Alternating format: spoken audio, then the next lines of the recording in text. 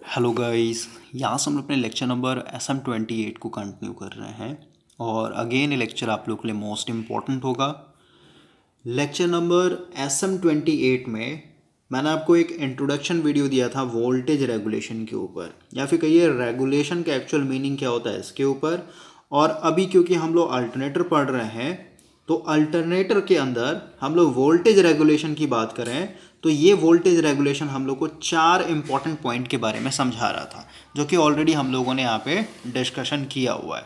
Okay okay, सबसे पहला problem था कि लोड को अगर आप ऑफ़ करते हैं तो उस बेसिस पे वोल्टेज इतना राइज अप नहीं होना चाहिए कि अंदर का जो वाइंडिंग का इंसुलेशन है या फिर कहिए कोर के ऊपर जो इंसुलेशन वो एक तरीके से ब्रेक डाउन हो जाए। उसके बाद जो भी हम लोग यहाँ पे ऑटोमेटिक वोल्टेज रेगुलेटर बनाएँगे उसको बनाने में हेल्प करेगा। उसके बाद शॉर्ट सर्किट कंडीशन में भी आपका देख रहे थे, वोल्टेज काफ़ी ज़्यादा डाउन हो जा रहा था तो स्टेबिलिटी एक तरीके से ख़राब हो जाएगा। उसके बाद आपने देखा था क्योंकि अल्टरनेटर बहुत सारे पैरल में लगे होते हैं तो इन्फिनाइट बस बार पे कांस्टेंट वोल्टेज मेंटेन रहता है। लेकिन अगर आपके अल्टरनेटर का मान लेते हैं वोल्टेज रेगुलेशन काफ़ी पुअर है तो बस बार पे आप कभी भी वोल्टेज को कॉन्स्टेंट मेंटेन कर नहीं पाइएगा, ठीक है? आप फेल हो जाइएगा वहाँ पर तो अगेन वो एक तरीके से क्या है स्टेबिलिटी वहाँ पर ख़राब हो जाएगा आपका सिस्टम का। तो अभी वोल्टेज रेगुलेशन को फाइंड आउट करने के लिए हम लोग को सबसे पहले भाई वोल्टेज रेगुलेशन कैलकुलेट आना, करना आना चाहिए ना। समझ रहे बात को? क्योंकि सीधी सी बात है फॉर्मूला आपको ऑलरेडी मैंने डिस्कस किया है ई एफ़ यानी नो लोड वोल्टेज तो सीधी सी बात ऐसा वैल्यू पता होना चाहिए आपको, इसका वैल्यू पता होना चाहिए, इसका वैल्यू पता होना चाहिए। तब ना निकलेगा, दो परसेंट आ रहा है, पाँच परसेंट आ रहा है, दस परसेंट आ रहा है। ठीक है, तभी ना बता पाइएगा कि मशीन पुअर वोल्टेज रेगुलेशन है इसका या फिर गुड रेगुलेशन है फिर एवरेज है। ठीक है? तो अभी हम लोगों ने देखा था कि चार मेथड है हमारे पास। अल्टरनेटर के अंदर वोल्टेज रेगुलेशन को फाइंड आउट करने के लिए। तो सबसे पहला मेथड है जो कि आज हम लोग डिस्कशन कर लेंगे। ये आपका इलेक्ट्रोमोटिव, इसी को हम लोग बोल रहे हैं ई एम एफ़ मैथड, और इसी का दूसरा नाम है सिंक्रोनस इम्पिडेंस मैथड। तो सबसे पहले नाम पर हम लोग फोकस करेंगे। ये जो आपका इतना पोर्शन है ना, सिंक्रोनस इम्पिडेंस, ये क्या होता है? तो ऑलरेडी मैंने यहाँ पे सर्किट बना दिया है। ये आपका आर्मेचर रिएक्शन के चलते जो इफ़ेक्ट आता है एक्स ए आर ये आपका वाइंडिंग के चलते रेजिस्टेंस या आपका लीकेज के चलते यहाँ पे रिएक्टेंस लगाया गया है। ओके आपको पता है, यहाँ पे जो वोल्टेज होता है ई एफ़ बोलते हैं आर्मेचर रिएक्शन इफ़ेक्ट लेने के बाद का जो वोल्टेज मिलता है, उसको हम लोग ई आर बोलते हैं। और यहाँ का जो वोल्टेज है टर्मिनल वोल्टेज इसको हम लोग बोलते हैं वी टी एक तरीके से। तो अभी भाई सिंक्रोनस इम्पिडेंस का मतलब होता है इन तीनों को एक तरीके से कंबाइन करना। जैसे ये रिएक्टेंस है, ये भी रिएक्टेंस है, दोनों जुड़ जाएगा, ठीक है?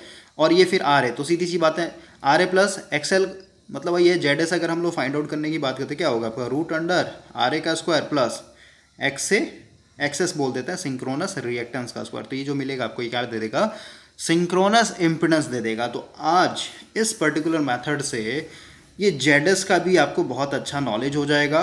और क्योंकि जेड के अंदर में ही आपका ये आ रहा है, ठीक है, ये वाला वैल्यू तो ये भी आपको आज क्लियर हो जाएगा कि आर्मेचर रिएक्शन के इफ़ेक्ट को हम लोग यहाँ पे इक्वलेंट सर्किट डायग्राम में इस रिएक्टेंस से क्यों रिप्लेस कर देते हैं? या फिर कहिए इस रिएक्टेंस का नाम है बस, भाई मतलब आर्मेचर रिएक्शन को रिएक्टेंस हम लोग क्यों रिप्लेस करते हैं? ये भी आपका एक तरीके से क्लियर हो जाएगा। ओके तो इस मेथड में हम लोग एक्चुअल करेंगे क्या? ठीक है इसमें भाई हम लोग कुछ नहीं करते हैं। हम लोग का यहाँ पे मेन काम होता है जो एमएमएफ है, ठीक है? एमएमएफ कहने का मतलब जैसे ये मेरा एक तरीके से सिंक्रोनस अल्टरनेटर है, ठीक है? या फिर ये जनरेटर है। इसको हम लोग जब लोड लगाएँगे, मान लेते हैं एक जनरल लोड लेके चलते हैं आर एल लोड तो सीधी सी बात है भाई, इसके अंदर कितना तरीके का फ्लक्स बनेगा? जैसे सबसे पहले नो लोड मान लेते हैं कोई लोड नहीं था, क्योंकि कोई भी अल्टरनेटर होता है डीसी हो या फिर एसी हो उसको भाई हम लोग हमेशा क्या करते हैं? नो लोड पे स्टार्ट करते हैं। कब तक? जब तक कि वो पूरा रेटेड वोल्टेज बिल्डअप ना कर ले, ठीक है? जब वो स्टार्ट हो जाता है, उसको फिर हम लोग लोड कनेक्ट करते हैं। सब डीसी मशीन में आपको मैंने समझाया हुआ है ऑलरेडी तो अभी मान लेते हैं नो लोड पे है। आपका, हम लोगों ने क्या किया? सबसे पहले रोटर को एक तरीके से प्राइम ओवर से कनेक्ट करके एनएस के स्पीड पे घुमा दिए है। उसके फिर हम लोग ग्रेजुअली क्या कर रहे हैं? फ़ील्ड करंट को बढ़ा रहे हैं, ठीक है? फ़ील्ड करंट बढ़ रहा है। सीधी सी बात है आपका फिर, यहाँ पे इस तरीके से इमेजिन कीजिए। ये आपका नॉर्थ साउथ यानी एक्साइटेशन दिया हुआ है इसके अंदर। क्रॉस था डॉट था, इस तरीके से आपका फ़ील्ड बना उसको हम लोग घुमा रहे हैं। तो इसके अंदर, यानी स्टेटर के अंदर जो कंडक्टर है, जिसको हम लोग आर्मेचर वाइंडिंग बोलेंगे, इसके अंदर क्या होगा? ई एम एफ़ इंड्यूस्ड हो जाएगा। तो आप कहेंगे सीधे सीधे यहाँ पे जो वोल्टेज बन रहा था फेजर डायग्राम समझाए, आपका एक फ्लक्स बना फ़ील्ड फ्लक्स जिसको बोलेंगे, इस फ़ील्ड फ्लक्स से 90 डिग्री लैग करेगा ईएमएफ तो ये आपका ईएफ बन गया, ठीक है? ये नो लोड का कंडीशन था। इनके बीच में हमेशा यहाँ पे 90 डिग्री बना हुआ रहेगा।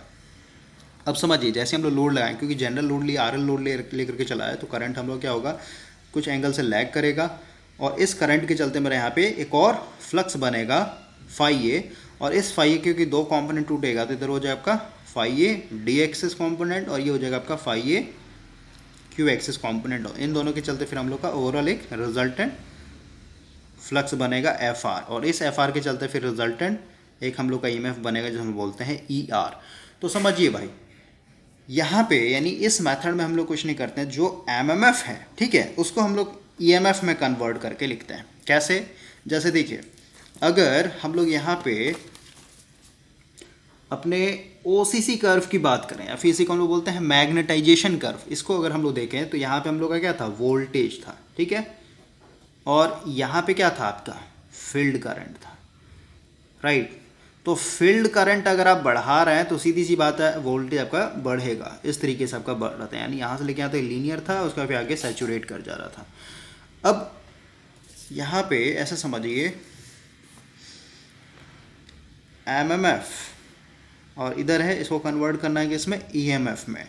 तो हमारे सिंक्रोनस जनरेटर के अंदर में, अभी ई एम एफ़ देखें तो ई एम एफ़ कितना है? एक तो आपका नो लोड पे जो सॉरी एम एम एफ़ भाई, ठीक है? एम एम एफ़ क्या है? एक तो आपका एफ़ एफ़ है, इसको हम लोग एफ़ एफ़ से बोलते हैं, ठीक है? यानी जैसे फ़ील्ड फ्लक्स है ना भाई तो ये फ़ील्ड फ्लक्स फ्लक्स बराबर क्या होता है आपका? M M F divided by आपका रिलेक्टेंस ठीक है? तो ये जो एम एम एफ़ है एम एफ़ को क्या लिखते हैं? एन इंटू आई और ये आई क्या हो जाएगा? आई एफ़ हो जाएगा, ठीक है? डिवाइडेड बाय रिलेक्टेंस तो इसको हम लोग टेक्निकली बुक में क्या रिप्रेजेंट करते हैं? एफ़ एफ़ से रिप्रेजेंट करते हैं। मतलब फ़ील्ड का एम एम एफ़ फिर ये फ़ील्ड में जो एक्साइटेशन दिया, उसके चलते जो एम एम एफ़ बना। तो एक तो आपका फ़ील्ड एम एम एफ़ है, ठीक है? और फेजर डायग्राम से अगर दिखाया तो ये हो गया आपका फ़ील्ड एम एम एफ़ और इस एम एम एफ़ के चलते, यानी इसको एम एम एफ़ बोलिए या फिर भाई आप फ़ील्ड फ्लक्स बोलिए, कोई फ़र्क नहीं पड़ता है, ठीक है? तो एक तो फ़ील्ड फ्लक्स हो गया फ़ील्ड एमएमएफ हो गया। इसके चलते आपका एक फ्लक्स बना, फ़ील्ड फ्लक्स। इस फ्लक्स के चलते आपका एक ईएमएफ इंड्यूस्ड हुआ ईएफ ये कहने का मतलब है, ठीक है? तो आप कहेंगे ना, इस एमएमएफ के चलते जो मेरा ईएमएफ इंड्यूस्ड हो रहा है हमारे मशीन के अंदर, इसको मैं क्या लिख सकता हूँ? ईएफ लिख सकता हूँ। मतलब ये एमएमएफ जो है रिस्पॉन्सिबल है ईएफ के लिए, ठीक है? अब सेकंड केस ये तो नो लोड का केस देखा हम लोगों ने। अब सेकंड केस में जैसे ही हम लोग लोड लगा रहे हैं तो लोड लगाते हैं क्या होगा एक? करंट फ्लो होगा आपके आर्मेचर वाइंडिंग के अंदर। आइए, इसके चलते हमारा एक और फ्लक्स सेटअप हो रहा है, जिसको हम लोग बोल रहे हैं फाई ए ठीक है? अब समझिए, ये जो फ्लक्स है तो सीधी सी बात है फ्लक्स भाई एमएमएफ से बना होगा ना तो इस एमएमएफ को हम लोग बोलते हैं फाई ए मतलब आर्मेचर एमएमएफ तो इस आर्मेचर एमएमएफ के चलते हम लोग का यहाँ पे आर्मेचर फ्लक्स बनता है। ठीक है? तो यहाँ पे मैं लिखता हूँ सीधे सीधे कि लोड लगाया आपने, आइए आया, आइए के चलते मेरा यहाँ पे एक और एमएमएफ बना। फाई है और इस फाई ए के चलते मेरा जो एक वोल्टेज आता है, उसको हम लोग क्या बोलते हैं? क्योंकि देखिए, ये जो भाई फाइए है ना, ये फाइए क्या करता है? ये वाला फ्लक्स और ये वाला फ्लक्स या फिर कहिए ये वाला एमएमएफ और ये वाला एमएफ आपस में इंटरेक्ट करके हम लोग का रिजल्टेंट एमएफ बनता है कहीं इधर। क्योंकि इसका दो कॉमन टूट गया ना डी मैग्नेटाइजेशन का, एक क्रॉस मैग्नेटाइजेशन तो ये हो गया एक तरीके से कहिए एफ़ आर एफ़ आर मतलब रिजल्टेंट एम एम एफ़ और रिजल्टेंट एम एफ़ को हम लोग क्या लिख सकते हैं? रिजल्टेंट फ्लक्स तो अब मशीन के अंदर ओवरऑल ये मेरा फ्लक्स है एक तरीके से, ठीक है? रिजल्टेंट फ्लक्स ये है तो सीधी सी बात है जो मेरा ई e आर बनेगा, इससे 90 डिग्री हो जाएगा। मतलब ये इस तरीके से बनेगा, ऐसा ऑलरेडी समझाया हुआ आपको। तो समझिए एफ़ एफ़ से, यानी फ़ील्ड एम एफ़ से बनेगा मेरा ई e एफ़ उसके बाद, देखिए ना बुक के साथ अगर मैं सिंक्रोनाइज हूँ यहाँ पे तो ये लिखा भाई, फ़ील्ड एमएमएफ से मतलब मशीन के अंदर सबसे पहले आप लिखा एमएमएफ कितने तरीके तो एक फ़ील्ड एमएमएफ हो गया, एक आपका लोड लगाने के चलते आर्मेचर एमएमएफ हो गया, ठीक है? और इन दोनों का जो रिजल्टेंट होता है तो ये हम लोग को दे देता है क्या? एफ़ आर आई होप कि आपको ये दिखा होगा। देखिए।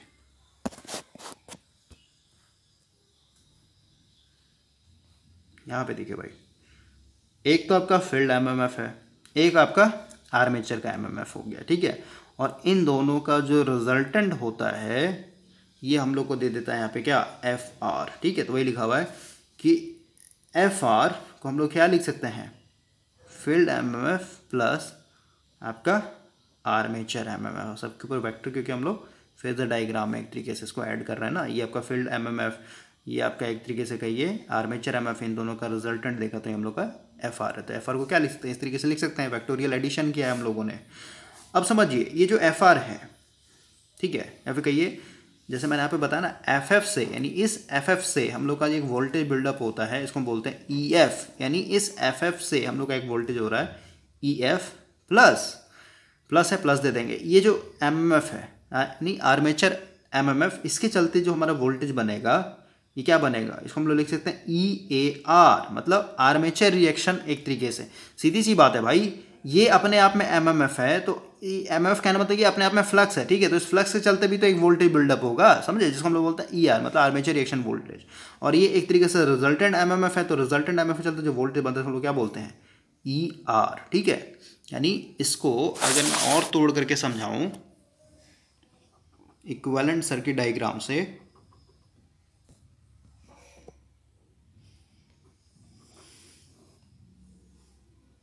सबसे पहले नो लोड के टाइम में हम लोग का एक एमएमएफ था, सिर्फ़ और सिर्फ़ फ़ील्ड एमएमएफ ठीक है? इसके चलते हमारा बना वोल्टेज ईएफ इसलिए मैंने लिख दिया यहाँ पे, ठीक है?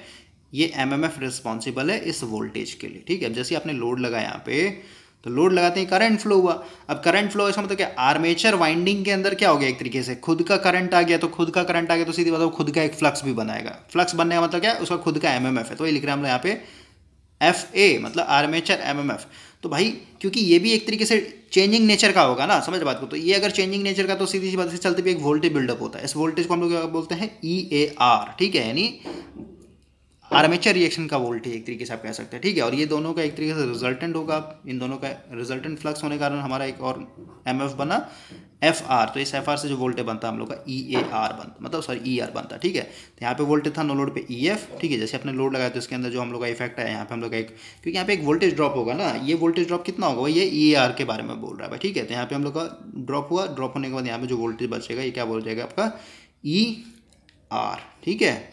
तो वही लिखा हुआ है तीन तरीके का एमएमएफ है रिजल्टेंट एमएफ हो गया फ़ील्ड एम हो गया या आपका आर्मेचर एमएफ हो गया ठीक है इस एमएफ के चलते ये वोल्टेज इस एमएफ के चलते हमारा ये वाला वोल्टेज इस इन दोनों का जो रिजल्टेंट होता है इसके चलते ये तो इसके चलते हमारा ये वोल्टेज बन बिल्डअप हो तो हम लोगों ने क्या किया ऊपर में पूरा का पूरा एमएमएफ था भाई ठीक है एमएमएफ को हम लोगों ने किस टर्म में कन्वर्ट कर दिया ई e के टर्म में कन्वर्ट कर दिया ठीक है इसीलिए इसको हम लोग बोलते हैं क्या E M F method E M F method कहना मतलब हम लोग अपने एम एम एफ़ को पूरा पूरा किसमें कन्वर्ट कर देंगे ई एम एफ़ में कन्वर्ट कर देंगे थोड़ा सा हम लोग बुक के साथ सिंक्रोनाइज होते हैं, ताकि यहाँ पे हम लोग को कुछ और भी चीज़ समझ में आए। तो सबसे पहले लिखा हुआ भाई फ़र्स्ट लाइन छोड़ देते हैं। और ये पर्टिकुलर मेथड से ना, आपको अभी सिंक्रोनस रिएक्टेंस का भी आपको समझ में आएगा, ठीक है? मतलब है इम्पिडेंस यहाँ पे आएगा तो सिंक्रोनस रिएक्टेंस भी आ जाएगा ना। सिंक्रोनस रिएक्टेंस का मतलब क्या? सिंक्रोनस रिएक्टेंस क्या होता है? इसका कॉम्बिनेशन और इसका कॉम्बिनेशन ये दोनों को अगर आप जोड़ दीजिएगा तो इससे हमारा बनता है एक्स एस मतलब इसको बोलते हैं सिंक्रोनस रिएक्टेंस ठीक है? तो ये ये भी आपको सीखने को मिलेगा और दिस और ये जो है ना, ये आपका सिर्फ़ और सिर्फ़ किसके लिए है? किस मशीन के लिए? तो सिलेंड्रिकल ऑलरेडी स्टार्टिंग में बताया था, जो भी हम लोग पढ़ रहे हैं सिलेंड्रिकल के लिए पढ़ रहे हैं। साइलेंट के लिए हम लोग बाद में करेंगे एक तरीके, क्यों? क्योंकि उसमें आपका नॉन यूनिफॉर्म एयर गैप होता है। ठीक है तो जो भी चल रहा है, वो पूरा पूरा आपका सिलेंड्रिकल के लिए चल रहा है, आपको दिमाग में रखना है। ओके और अभी इस मेथड में हम लोग सेचुरेशन को एक तरीके से नेगलेक्ट करके चलेंगे। मतलब सेचुरेशन नहीं आ रहा। सेचुरेशन नहीं आने का मतलब क्या? हम लोग कहाँ पे काम कर रहे हैं? जब आपका मैग्नेटाइजेशन है ना, ये इधर ही, इतना ही दूर में हम लोग काम कर रहे हैं एक तरीके से। ठीक है? उधर नहीं जा रहा है। सेचुरेशन रीजन में नहीं जा रहा है। तो ये भी आपको एक तरीके से लेकर के चल रहा है। और इसमें हम लोग कुछ नहीं कर रहे हैं। जो एमएमएफ है, इसको हम लोग क्या कर रिप्लेसमेंट करते हैं। किसका? एमएमएफ का। ठीक है? एम को रिप्लेस कर रहे हैं किससे? उनके कॉरस्पॉन्डिंग ई से। ठीक है? इस एम के चलते आपका फ्लक्स बना। इस फ्लक्स के चलते आपका यहाँ पे क्या बना? ईएमएफ e बना, ठीक है? तो वही आपको समझा दिया मैंने। अब हम लोग थोड़ा सा नीचे में आते हैं। आपको हमेशा मैंने बताया भाई कि अगर ये आपका फ़ील्ड एमएमएफ है तो फ़ील्ड एमएफ के चलते हमारा एक फ़ील्ड फ्लक्स बनेगा। फ़ील्ड फ्लक्स के चलते जो वोल्टेज बनेगा ईएफ e ये क्या होगा? इनके बीच में हमेशा 90 डिग्री का फेस शिफ्ट होगा। यहाँ पे भी दिखाया मैंने आपको, अगर ये एमएमएफ है तो इसके चलते जो ईएमएफ बनेगा ईएफ इनके बीच में हमेशा क्या होगा? नाइन्टी डिग्री का फेस शिफ्ट रहेगा। मतलब ये ई एफ़ जो होगा लैग करेगा हमेशा 90 डिग्री से। ठीक है तो वही चीज़ लिखा हुआ है। उसी तरीके से अब आपका एक रिजल्टेंट बना ना। रिजल्टेंट करना मतलब ये दोनों कंबाइन करके एक हमारा फ्लक्स बना नेट फ्लक्स या एफ़ आर ठीक है तो इसके चलते अब क्योंकि मेरा ओवरऑल फ्लक्स यहाँ पे शिफ्ट हो गया तो इसके चलते जो ई e आर बनेगा नेट वोल्टेज या फिर ये रिजल्टेंट वोल्टेज तो इसके बीच में क्या होगा हमेशा 90 डिग्री का फेस शिफ्ट होगा तो वही बोल रहा है। जो एफ़ आर है तो एफ़ आर के चलते जो हमारा वोल्टेज बनेगा यहाँ पे ई e आर ये भी क्या होगा एक तरीके से? नाइन्टी डिग्री लैग करेगा। उसी तरीके से एक और हम लोग का एम एम एफ़ है फाई सॉरी एफ़ है, ठीक है? तो इस एफ़ ए के चलते जो हमारा वोल्टेज बन रहा है ई ए आर ये भी क्या करेगा? एक तरीके से 90 डिग्री लैग करेगा। मतलब तीन एम एम एफ़ है एफ़ आर एफ़ एफ़ और एफ़ ए इन तीनों के चलते जो ई एम एफ़ बन रहा है, ये सब क्या होगा? एक दूसरे से 90 90 90 डिग्री लैगिंग पे होगा। तो ये आपका इतना क्लियर हो गया। अब थोड़ा सा भाई हम लोग यहाँ पे पाउज होंगे और थोड़ा सा हम लोग एक बेसिक फंडामेंटल के बारे में जानेंगे। उसके बाद फिर हम लोग कंटिन्यू करेंगे। देखिए, ये इंपॉर्टेंट है भाई हम लोग के लिए जे ऑपरेटर तो जे ऑपरेटर होता है क्या एक्चुअली ये मैं आपको पहले समझाता हूँ। उसके बाद फिर हम लोग इसको मशीन में एक तरीके से कोरिलेट करेंगे।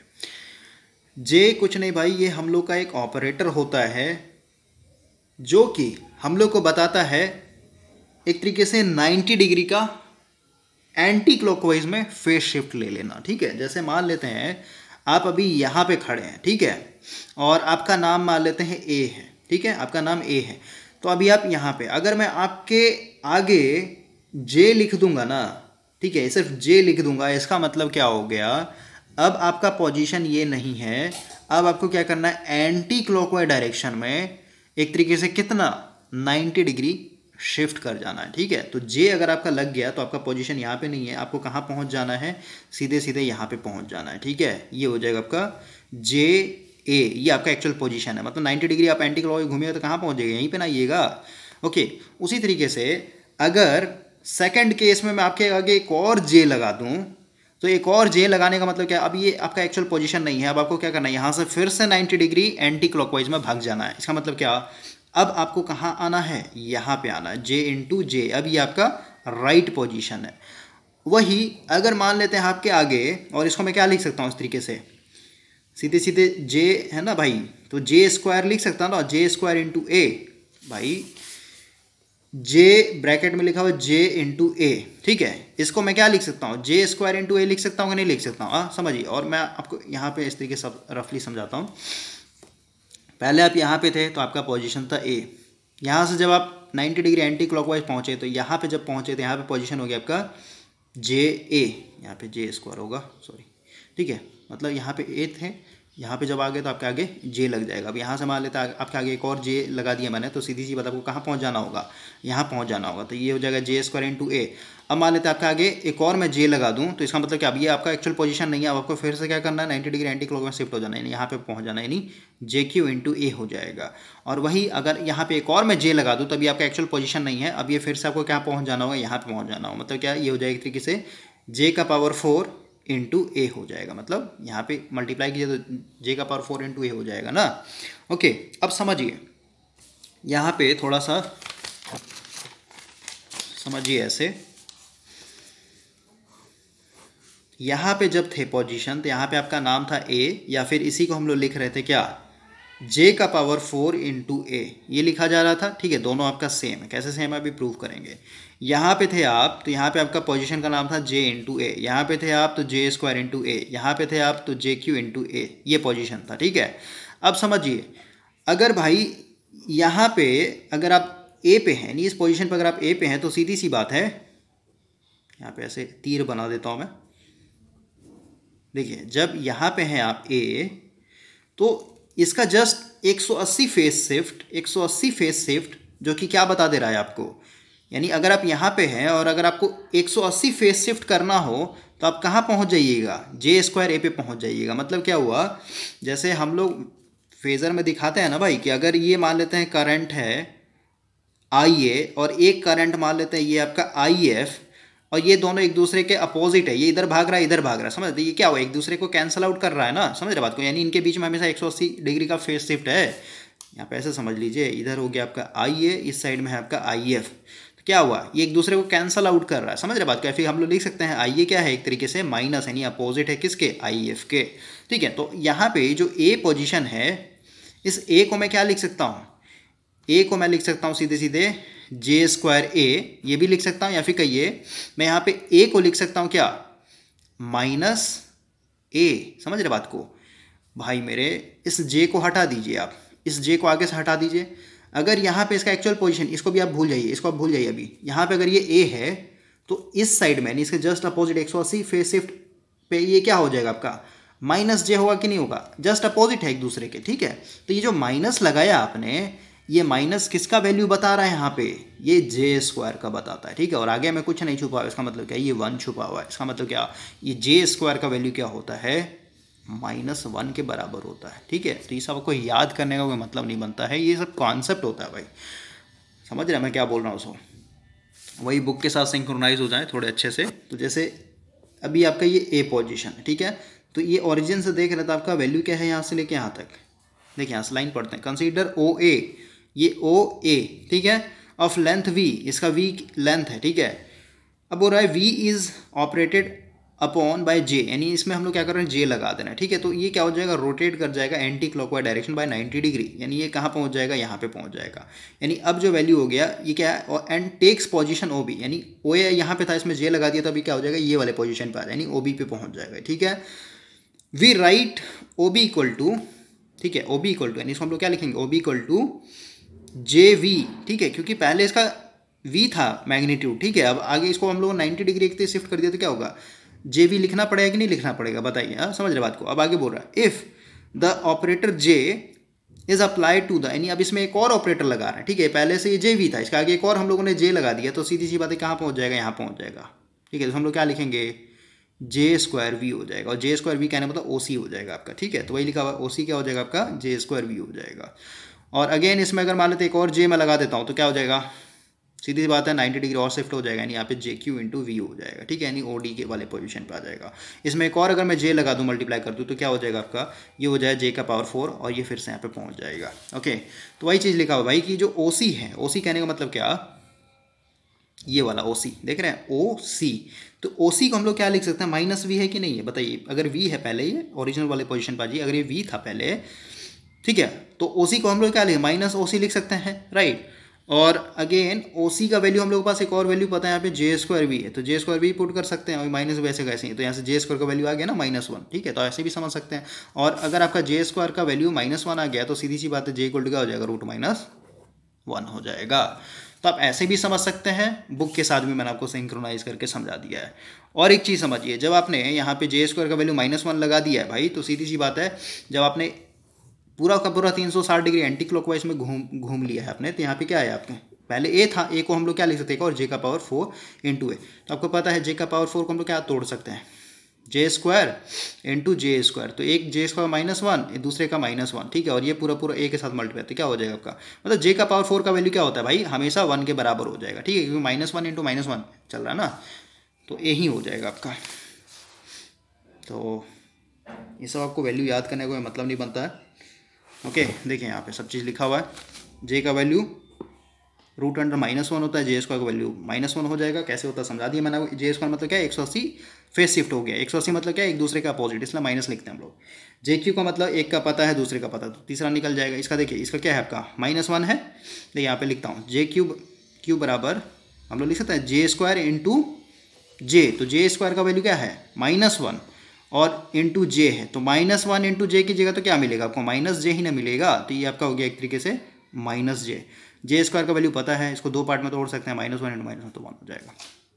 इतना समझ गए? अब इसको हम लोग कहाँ पे यूज़ करेंगे अपने मशीन में? इस पर हम लोग बात करते हैं।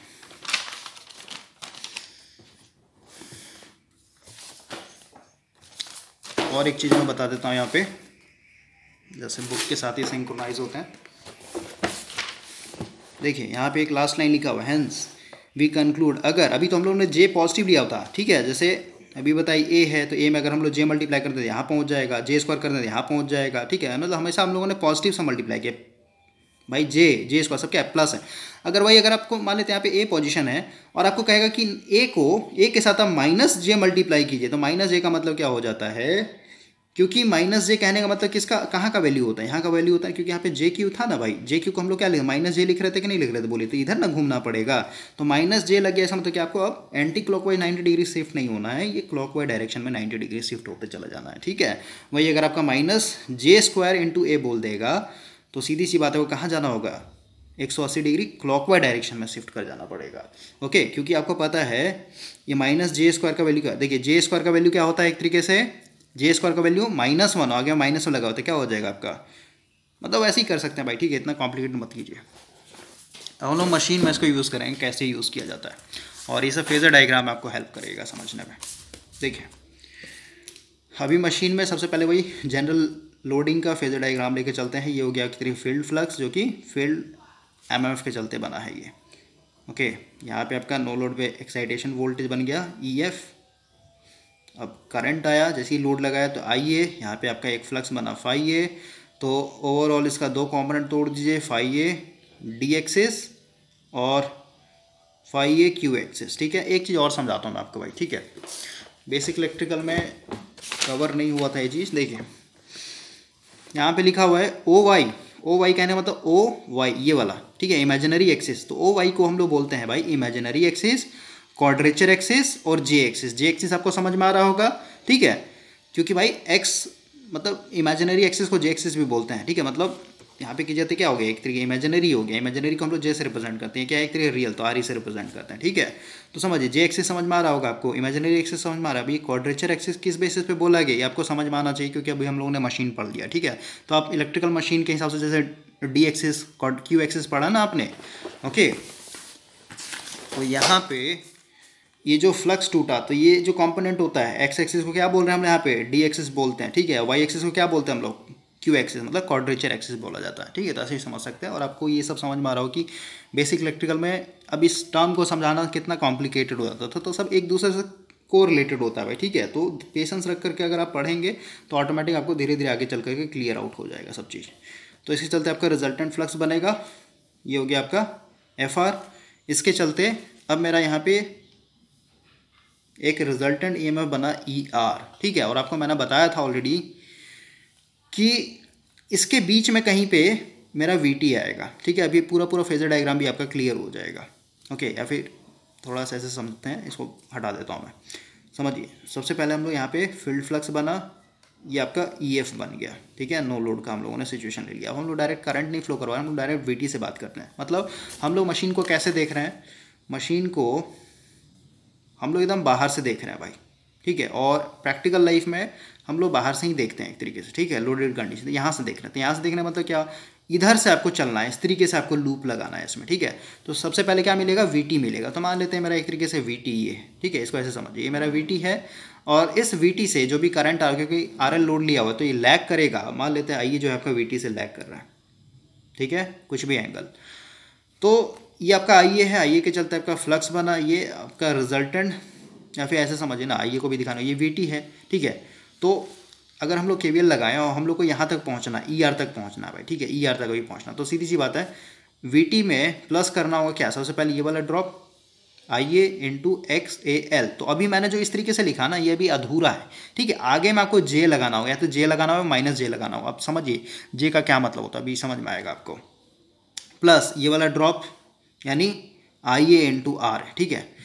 तब जाकर के कहाँ पहुँच जाएगा ई e आर तक पहुँच जाएगा तो ये अगर मेरा वी टी है तो वी टी मेरे को क्या जोड़ना है? सबसे पहले आई ए इन टू आर ए जोड़ते तो आई ए इन टू आर ए क्या होगा? करंट के ही फ़ेज़ में होता तो करंट के फ़ेज़ में इस तरीके से मैं दिखा देता हूँ। ये मान लेते मेरा क्या है? ये ड्रॉप हो गया I A in to R ए का राइट और क्योंकि अब इसमें एक और ड्रॉप दिखाना है, ये रिएक्टेंस के पास का ड्रॉप है, ठीक है? तो सीधी सी बात है, यहाँ पे जो आपका वोल्टेज होता है भाई, जो भी वोल्टेज ड्रॉप होगा, ये क्या होगा? ये 90 डिग्री के, यानी ये जो वोल्टेज होगा ना प्योर एच वोल्टेज से कितने पे आ गया होगा? 90 डिग्री पे होगा, ठीक है? तो अब यहाँ पे अगर आपने सिर्फ़ और सिर्फ़ I A into X L लिखा हुआ है ना, समझ रहे बात को तो आपको इंडक्टर का तो बिहेवियर पता है। ठीक है एक्चुअली में आपने इसका एक तरीके से ऑपरेशन करके सब चीज़ समझा हुआ भाई। इसलिए आप कह रहे हैं कि इसको 90 डिग्री फेस शिफ्ट दिखाना होगा। लेकिन अगर आप मैथमेटिकली देखिए इंजीनियरिंग में दो चीज़ें समझा जाता है। एक तो आपका ग्राफिकल मेथड होता है, एक आपका मैथमेटिक्स होता है। तो अगर आपने इस मैथमेटिक्स के रूप में यहाँ पे इक्वेशन जो लिखा हुआ है वोल्टेज ड्रॉप का या फिर कहीं वोल्टेज का मस्ट भी इक्वल टू ई आर लिख देते हैं। ई आर मतलब वी टी प्लस इतना। ठीक है? तो ये इनकम्प्लीट है भाई। इसमें आपने ऑपरेटर को इंट्रोड्यूस नहीं किया है तो कभी भी ये नहीं बता रहा है कि आपको ये फेजर डायग्राम ऊपर लेके जाना है, ऐसे लेके जाना ऐसे लेकर किधर लेके जाना है नहीं बता पा रहा है। ठीक है? इसीलिए हम लोग को आगे में यहाँ पे क्या लगाना पड़ता है? जे लगाना पड़ता है। ठीक है? अब समझिए माइनस जे लगाएँगे प्लस जे लगाएँगे, वो समझ में आएगा, थोड़ा सा और पेशेंस रखिए आप। ठीक है? बस समझिए जे क्यों लगा? ये क्लियर हो गया। तो जे जैसे ही लगाएँगे, इसका मतलब क्या? अगर हम लोग इस एक्सिस पे हैं तो सीधी सी बात है, मेरे को 90 डिग्री जाना होगा, ठीक है? यानी इससे 90 डिग्री आपका वोल्टेज लीड करता है। तो अगर ये है तो लीड मतलब ऊपर भागना पड़ेगा हम लोग ठीक है? ये हो गया मेरा, यहाँ पे लिखेंगे J into I A X A L ये ड्रॉप ठीक है? तो वी टी ये वाला voltage I A R A voltage ये वाला वोल्टेज तो इन दो जोड़ देंगे तो ये मेरा क्या बन जाएगा एक तरीके से? ई e आर बनेगा, ठीक है? और इसको हम लोग ई एफ़ को बड़ा करना पड़ेगा क्योंकि ई एफ़ हमेशा बड़ा होता है, ठीक है? और ऊपर बना लिए, ठीक है? तो मैं रफ आपको बता रहा हूँ। तो आई होप कि समझ में आया जे ऑपरेटर का क्या एक तरीके से होता है। और वही चीज़, यहाँ पे जैसे आर्मेचर रिएक्शन है ना तो आर्मेचर रिएक्शन के इफ़ेक्ट को भी हम लोग समझेंगे। तो क्योंकि इसको रिएक्टेंस के रूप में दिखाते तो यहाँ पे जो ड्रॉप होगा ना, यहाँ पे भी आपको जे लगाना पड़ेगा I A into X A R तो उस पर भी बात करेंगे हम लोग। तो इतना हो गया बेसिक अब हम लोग आते हैं अपने इसके ऊपर। देखिए। अब हम लोग यहाँ से भाई स्टार्ट कर रहे हैं। अभी आपका पेज नंबर है पाँच सौ अंठावन। इधर था आपका? पाँच सौ संतावन तो पाँच सौ संतावन में वोल्टेज रेगुलेशन का डेफिनेशन से पढ़ लिया। यहाँ पे हम लोगों ने इंट्रोडक्शन देख लिया इस मेथड में क्या क्या हम लोग करना होता है। यानी सीधे सीधे एम एम एफ़ को ई एम एफ़ में कन्वर्ट करना है, ठीक है? तो हम लोग यहाँ से फेजर डायग्राम का सहारा लेते हुए स्टार्ट करेंगे और ये तुरंत आपका खत्म हो जाएगा। इसमें अब जान नहीं है कुछ भी। सबसे पहले आप इमेजिन कीजिए, मेरे पास एक सिलेंड्रिकल टाइप का अल्टरनेटर है और ये हो गया एक तरीके से रोटर रोटर में हम लोगों ने एक तरीके एक्साइटेशन दिया हुआ है, ये आपका मैग्नेटिक फ़ील्ड बन गया, इसको हम लोग एक तरीके से एंटी क्लॉकवाइज डायरेक्शन में घुमा रहे हैं। राइट तो सीधी सी बात है, आपका सबसे पहले नो लोड कंडीशन चलेगा, यानी इसके अंदर आपका एक तरीके से ई एम एफ़ इंड्यूस्ड होगा, ठीक है? ई एम एफ़ इंड्यूस्ड हुआ, ऐसा मतलब क्या अभी हम लोग फेजर डायग्राम बनाएँगे। तो इसको थोड़ा और नीचे करके बनाते हैं, क्योंकि स्पेस बचेगा नहीं फिर। ये हो गया आपका फ़ील्ड फ्लक्स इसके चलते मेरा वोल्टेज बना एक तरीके से ई एफ़ ई एफ़ को थोड़ा ऊपर रखता हूँ, क्योंकि ये थोड़ा बढ़ा जाएगा। अब हम लोग क्या कर रहे हैं? लोड लगा रहे हैं भाई। लोड लगाने के लिए हम लोग ये वाला सर्किट डिज़ाइन कर लेते हैं। ठीक है, यहाँ पे हम लोगों ने एक जनरल आरएल लोड लगा दिया, ठीक है? अब लोड लगाएँगे तो सीधी सी बात है करंट फ्लो होगा। या फिर कहिए, ऐसे नहीं चलना है तो सीधी सी बात है सबसे पहले वी टी बना कर मतलब अपने हिसाब से चल सकते हैं। इधर से भी लेके चल सकते हैं या फिर इधर से भी लेकर के चल सकते हैं भाई, ठीक है? तो बार बार हम लोग बनाएँगे नहीं तो यहीं पे मैं आपको समझा देता हूँ। सबसे पहले हम लोग मान लेते हैं करंट फ्लो हुआ। आई ए ठीक है? फिर कहिए हम लोग का टर्मिनल वोल्टेज था इस तरीके समझिए, ये मेरा वीटी है। अभी बस समझिए, बनाना अपने आप आ जाएगा, ठीक है? वीटी है वीटी के चलते मेरा एक करंट फ्लो होगा कुछ ना कुछ, आइए, जो कि लैग करेगा, कुछ भी एंगल अभी नाम ये सब मतलब नहीं है, कुछ भी नहीं अभी बस समझिए बेसिक वे में। और अगर आपको ई e आर दिखाना ये वाला वोल्टेज तो अभी जस्ट समझाया मैंने आपको कि वीटी में हम लोग को सबसे पहले ये वाला ड्रॉप और ये वाला ड्रॉप दिखाना होगा, ठीक है? तो सबसे पहले वी टी के फ़ेज़ में क्या कीजिए आप? आई ए इंटू आर ए दिखा दीजिए। ठीक है, ये हो गया आपका आई ए इंटू आर ए ठीक है, अब इसमें नाइन्टी डिग्री दिखा दीजिए, एक तरीके से। I A into X A L अब यहाँ पे जे लिखने का मतलब नहीं है, क्योंकि ऑलरेडी यहाँ पे डायरेक्शन हम लोगों ने शो कर दिया ठीक है मैथमेटिक्स जब करके दिखेंगे तो वहाँ पे आपको जे लिखना ज़रूरी होगा। तो ये जो जुड़ेगा, ये बन जाएगा आपका ई e आर ठीक है, अब मैंने आपको बताया था, इसको ई एफ़ को और थोड़ा बड़ा करते हैं, क्योंकि लैगिंग लोड में ई एफ़ हमेशा बड़ा होता है। ठीक है, क्योंकि यहाँ पे जो वोल्टेज रेगुलेशन आपका पॉजिटिव होगा। अब देखिए भाई हम लोग को पता है वीटी में हम लोगों ने ये वाला ड्रॉप प्लस ये वाला ड्रॉप किया है तो हम लोग कहाँ पहुँच गए? यहाँ तक पहुँच गए, ठीक है? ई e आर तक पहुँच गए। लेकिन अभी भी पता है कि अभी अगर मेरे को ई e एफ़ तक जाना है ई e एफ़ कहने का मतलब यहाँ तक, ये आपका ई एफ़ है, ठीक है? यहाँ तक अगर जाना है तो सीधी सी बात अभी भी क्या है, ये गैप बचा हुआ है। इस गैप में हम लोग का जो वैक्टर होगा, ऐसे भागेगा ऐसे भागेगा, ऐसे भागे, ऐसे कहाँ से? मतलब ये लाइन कैसे खींचेंगे? इधर एकदम स्ट्रेट चला जाएगा, ऐसे जाएगा, कैसे जाएगा? इसको पता करने के लिए हम लोगों को यहाँ पर समझना होगा कि आर्मेचर रिएक्शन के इफ़ेक्ट को हम लोग किस वे में रिप्रेजेंट करें? अगर रजिस्टिव लोड में रिप्रेजेंट करते हैं, मान लो आर्मेचर को मैं यहाँ पे रजिस्टेंस रिप्लेस करता भाई तो रजिस्टेंस रिप्लेस करने का मतलब क्या जैसे यहाँ पे अगर हम लोग केवीएल लगाएँगे, ये पूरा पूरा केवीएल लगाइए तो क्या हो जाएगा आपका? वीटी में जोड़ेंगे सबसे पहले आई ए इंटू प्लस आपका I A into X L यहाँ पे जे लगा देता हूँ, ठीक है प्लस अगर मैं आर्मेचर रिएक्शन को रजिस्टिव वे में अगर रिप्लेस करता तो क्या करना होता? प्लस फिर आई ए इंटू यहाँ पे लिखते हैं, आर, ए, आर कर देता। अगर मैं रजिस्टिव वे में करता तो सीधी सी बात है, ई, आर, देखिए, इतना जो वोल्टेज है, जैसे ई, आर का वैल्यू क्या है भाई? ई, आर यही है ना V T plus I A into R A plus J into I A into X L इतना क्या है वी भाई, ऐसा समझिए ई एफ़ इक्वल टू क्या लिख सकते हैं हम लोग? ई आर प्लस क्या लिखेंगे? ई ए आर समझ रहे बात को? तो ई e आर का वोल्ट वैल्यू क्या है? ये वाला वैल्यू है, ठीक है? इतना हम लोगों ने पुट कर दिया, देखिए, इतना दूर क्या है मेरा? ई e आर समझ रहे बात को? ई e आर अब इसमें हम लोग को और जोड़ना है ना ई ए आर तो ई आर को हम लोग कैसे रिप्रेजेंट मतलब रिएक्शन आर्मेचर रिएक्शन चलते तो अगर हम लोग रेजिस्टेंस के रूप में अगर इसको रिप्लेस करते तो सीधी सी बात अगर ये ई आर है तो ये क्या होता है? इस करंट के फ़ेज़ में चला जाता है। ये जो आपका करंट है ना, इसके फ़ेज़ में आपको दिखाना पड़ता है, ठीक है? इसके फ़ेज़ में दिखाना मतलब ऐसे जाना पड़ता है आपको। ये हो जाता है आपका आई ए इंटू आर और यहाँ पे लिखते ए आर ठीक है? तो बताइए गलत होता है कि नहीं होता क्योंकि ये मैच नहीं कर रहा, क्योंकि ऑलरेडी जब आपको ने देखा कि इस फ़ील्ड फ्लक्स से चलते जो वोल्टेज यहाँ पे एक तरीके से तो मतलब सही नहीं भाई, और रजिस्टिव वे में आप दिखा भी नहीं सकते। अगर मैं यहाँ पे रिएक्टेंस से दिखाता, और और भी आपको इसको ब्रेक करके मैं समझाऊँगा, अगर मैं इसको रिएक्टन से दिखाता तो रिएक्टन से दिखाने मतलब अगर ये ई आर वोल्टेज है तो सीधी सी बात है ई आर अगर यहाँ तक पहुँचे तो यहाँ से फिर कहाँ जाना पड़ेगा? नाइन्टी डिग्री एक तरीके से नाइन्टी डिग्री भागे तो ऑटोमेटिक क्या होगा? ई एफ़ से ये मिल जाएगा, ठीक है? तो ये जो ड्रॉप होता है, इसको हम बोलते हैं आर्मेचर रिएक्शन यानी ये जो वोल्ट आपका क्या है? ये ई ए आर है ओके तो अब हम लोग थोड़ा सा बुक के साथ सिंक्रोनाइज होते हैं। और धीरे धीरे क्लियर होगा भाई, ठीक है? एक दिन में थोड़ा सा होता है यहाँ पे प्रॉब्लम ये आपका मेन मैग्नेटिक फ़ील्ड था नो लोड केस में ऐसे चलते आपका नो लोड वोल्टेज ये बन गया, ठीक है? अब हम लोगों ने माना कि यहाँ पे करंट फ्लो हो रहा है, ठीक है? कुछ एंगल से लैग कर रहा है साई एंगल से। ये आपका वी टी है वी टी में आपका आई ए इंटू आर है ये वाला ड्रॉप मतलब रेजिस्टेंस के पास वाइंडिंग के चलते जो आ रहा है, वो वाला ड्रॉप प्लस लीकेज के चलते जो आ रहा है, वो वाला ड्रॉप यहाँ पे हम लोग को ई e आर मिल गया, ठीक है? अब ई e आर से हम लोग को भाई कहाँ जाना है? ई e एफ़ तक जाना है। लेकिन अब देखिए, जो डायरेक्शन है ना, ये वेक्टर का, ये नीचे की तरफ़ दिखाया गया। अभी नीचे, अब वेक्टर का डायरेक्शन भी यहाँ पे इंपॉर्टेंट है। ऊपर की तरफ़ दिखाएँगे। मैंने यहाँ पे ऊपर की तरफ़ दिखाया है। लेकिन बुक में आपका ये क्या दिखाया नीचे की तरफ़ दिखाया ऐसे दिखाया इसका क्या मतलब होता है?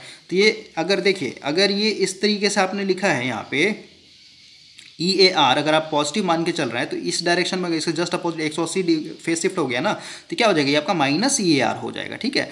तो ये भी आपको क्लियर हो जाएगा। मतलब इधर आ गया, इसका मतलब क्या ये एक तरीके से माइनस वाला ड्रॉप है। मतलब सीधी सी बात है भाई, जैसे यहाँ पे कर क्या रहा है एक्चुअली और भी इसको हम लोग ब्रेक करके समझेंगे, लेकिन मोटा मोटी समझिए। हम लोगों ने यहाँ पे जो ई e आर लिया है ना, इस ई e आर पे एक तरीके से, इधर वाला तो कोई दिक्कत नहीं है, इधर से हम लोग आ रहे हैं इस डायरेक्शन से, ठीक है? तो ये मैंने यहाँ पे दिखा दिया बुक में भी दिखा दिया। ये आपका I into R A drop plus ये वाला ड्रॉप ठीक है? तो आपको ई e आर मिल गया। यानी यहाँ तक आप पहुँच चुके हैं। इस वाले पॉइंट पे ई e आर तक पहुँच गए हैं। अब सीधी सी बात है, आपका ई e एफ़ आपने ऑलरेडी पहले ड्रॉ कर रखा है, ठीक है? ई एफ़ से, यानी ई एफ़ आपका ऑलरेडी यहाँ पे फेजर डायग्राम में बना हुआ है तो ई एफ़ से अगर आपको ई आर की तरफ़ जाना है, बताइए, अगर ई एफ़ है यहाँ पे आपका, अब ई एफ़ से कहाँ जाना होगा? ई आर पे जाना होगा तो सीधी सी बात है सबसे पहले मेरे को एक चीज़ बताइए ई एफ़ बड़ा होगा ई आर से कि नहीं बड़ा होगा? बोलिए हाँ ई एफ़ अगर मेरा 200 वोल्ट है तो सीधी सी बात है 200 में से ये वाला ड्रॉप पहले होगा मान लेते दस वोल्ट ठीक है?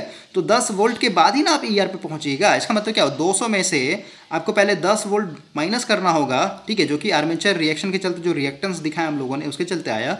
तब जाकर के मस्ट भी क्या हो जाएगा? ई आर के बराबर होगा। समझ रहे तो आपने ऑलरेडी यहाँ पे फेजर डायग्राम में भाई ई एफ़ को रिप्रेजेंट कर दिया है। तो ई एफ़ से अगर आप ई आर की तरफ़ जाना चाहते हैं तो आपको हमेशा क्या होना होगा? नीचे की तरफ़ आना पड़ेगा। ठीक है? नीचे तरफ़ मतलब क्या? जैसे देखिए, ये पूरा का पूरा, ये वी टी है ठीक है? ये आपका आई ए इंटू आर ए है। ये आपका I A into X L मतलब ये पूरा पूरा वेक्टर किधर भाग रहा है? इधर की तरफ़ भाग रहा है। मतलब ये पॉजिटिव अगर लिया हुआ है आपने डायरेक्शन तो सीधी सी बात अगर आप ई e एफ़ से नीचे की तरफ़ आ रहे हैं तो ये क्या हो जाएगा? इसका ऑटोमेटिक नेगेटिव डायरेक्शन हो जाएगा। ओके इसका मतलब क्या? देखिए, फिर से मैं लिखता हूँ। सबसे पहले ई e आर लिखते हैं। ई e आर तक जाने के लिए हम लोगों ने क्या किया? सबको प्लस प्लस किया V T plus I A into R A plus J into I A into X A L सबको प्लस किया कि नहीं किया? बोलिए। लेकिन ई एफ़ से अगर आप ई आर की तरफ़ जाएँगे ना तो ई एफ़ में से आपको घटाना होगा क्या? आई ए इंटू यहाँ पे लिख देता हूँ जे आई ए इन टू यहाँ पे एक्स ए आर मतलब जो आपने रिएक्टेंस दिखाया ना लीकेज के चलते, यहाँ पे जो ड्रॉप हो रहा है, ठीक है, उसको घटाने के बाद ही आपको यहाँ पे ई आर मिलेगा। इसलिए हम लोग क्या कर रहे हैं ई एफ़ से हम लोग को अपोजिट डायरेक्शन में जाना पड़ रहा है, ठीक है? इसलिए तीर को मैंने यहाँ पे, ये बुक में क्या दिखाया गया नीचे की तरफ़ दिखाया गया है। ओके तो ये क्लियर हो गया होगा। और भी क्लियर होगा भाई धीरे धीरे इक्वेशन मैथमेटिक्स वे में भी हम लोग समझेंगे। अभी तो ये ग्राफिकल चल रहा है आपका। तो फिर से मैं बनाता हूँ।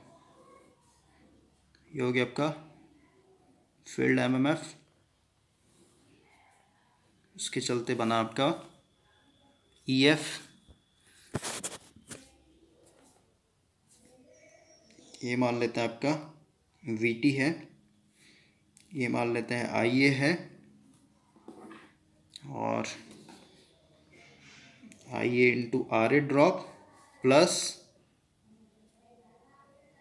I A into X L drop ये जो रिजल्टेंट वोल्टेज मिला, ये हम लोग का ई e आर मिला, ठीक है? अब इसको और थोड़ा ऊपर बनाते तब ना नाइन्टी डिग्री जाता, ठीक है? तो स्पेस है नहीं। देखिए, इसको मैं थोड़ा सा और ऊपर कर देता हूँ। अब ई e एफ़ से डायरेक्ट इधर आना है, ठीक है? तो ई e एफ़ से डायरेक्ट इधर आने का मतलब क्या? तरीके से इस डायरेक्शन में आपको आना पड़ेगा। तब जाकर आपको ये हो गया एक तरीके से, इस तरीके से, ठीक है? अब समझिए, उतना हम लोग बात नहीं करेंगे बुक के साथ सिंकमाइज हो जाएँगे फिर।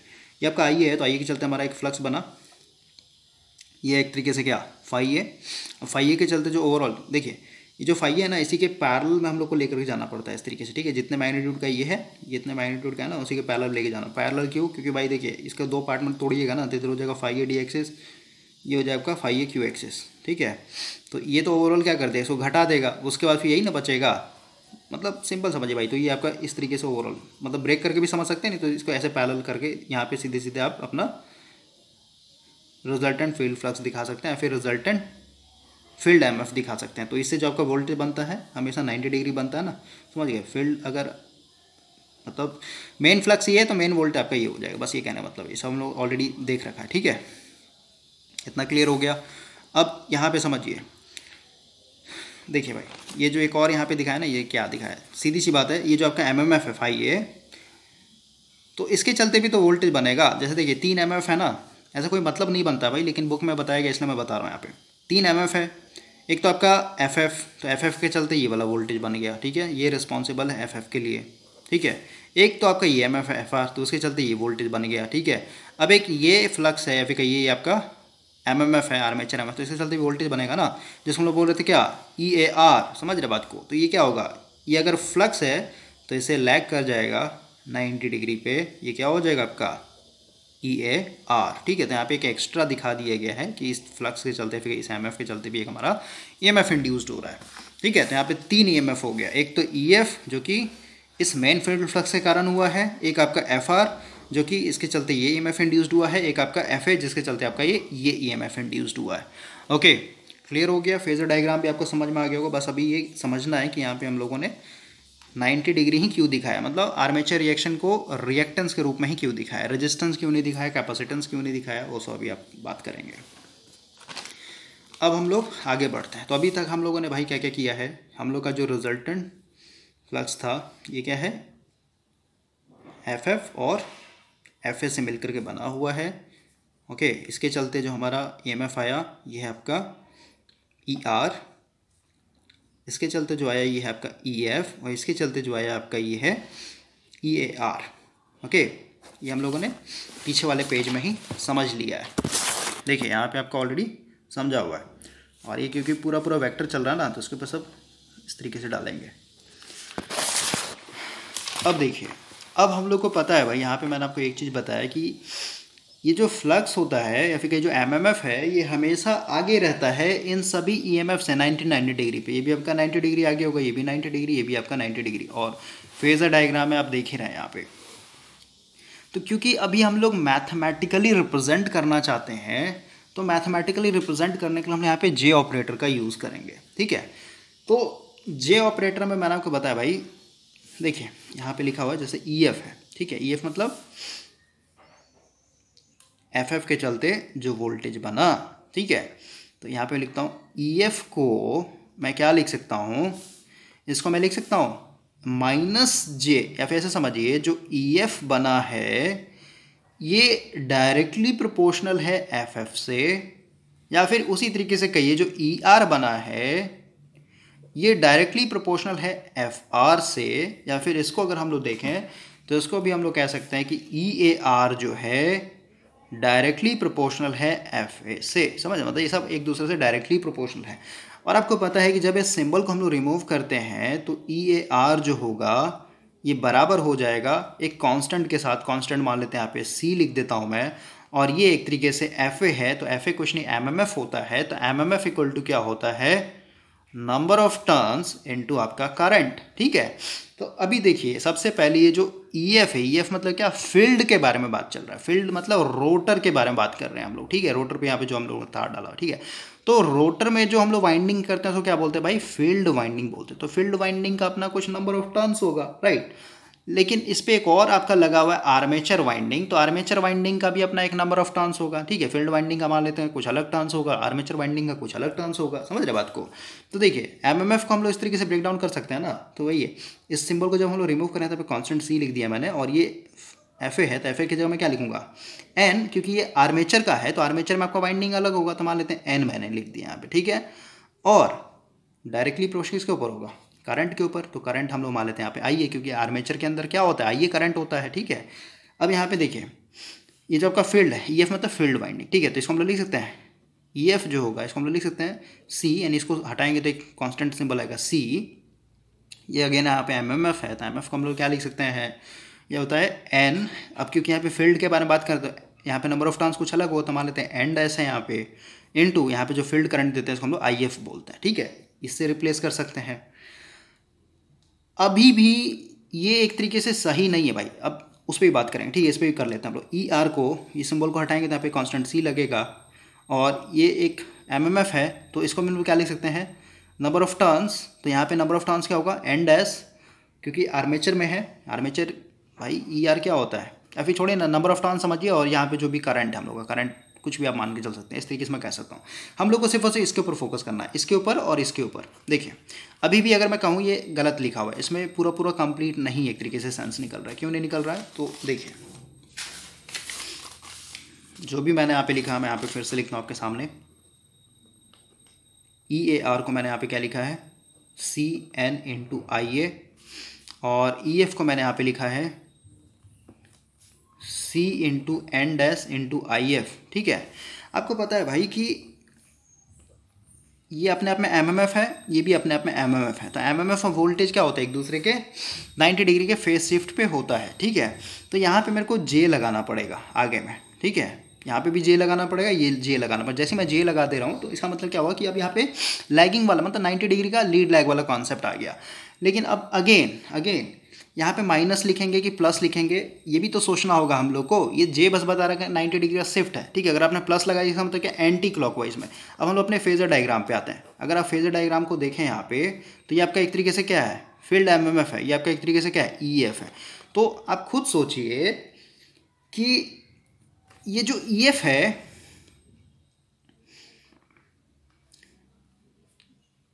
ये इससे क्या कर रहा है? लैग कर रहा है ना? 90 डिग्री लैग कर रहा है। 90 डिग्री लैग करना मतलब पीछे है भाई, ये इस डायरेक्शन में पीछे। मतलब क्या? क्लॉकवाइड ई एफ़ यहाँ से स्टार्ट उधर भाग रहे हैं ना?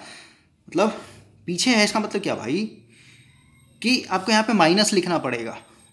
ठीक है? अब देखिए भाई, आपको अपना खुद का कॉमन सेंस लगाना पड़ेगा यहाँ पे। काफ़ी बेसिक है ये। ये आपका आगे भाग रहा है, ठीक है? ये यहाँ पे है और ये मतलब 90 डिग्री पीछे है तो सीधी सी बात है, यहाँ से अगर आप देखेंगे तो आपको क्या लगेगा? ई एफ़ क्या है? 90 डिग्री पीछे है। 90 डिग्री पीछे का मतलब क्या यहाँ से आपको कहाँ भागने को मिल रहा है? यहाँ पे 90 डिग्री माइनस, यानी क्लॉकवाइड डायरेक्शन क्लॉकवाइड है मतलब यहाँ पे माइनस लिखना पड़ेगा। उसी तरीके से यहाँ पे कर देते हैं ई एफ़ और इसके बारे में बात कर ना, और इसमें भी देखें ये आपका एफ़ आर हो जाएगा resultant F R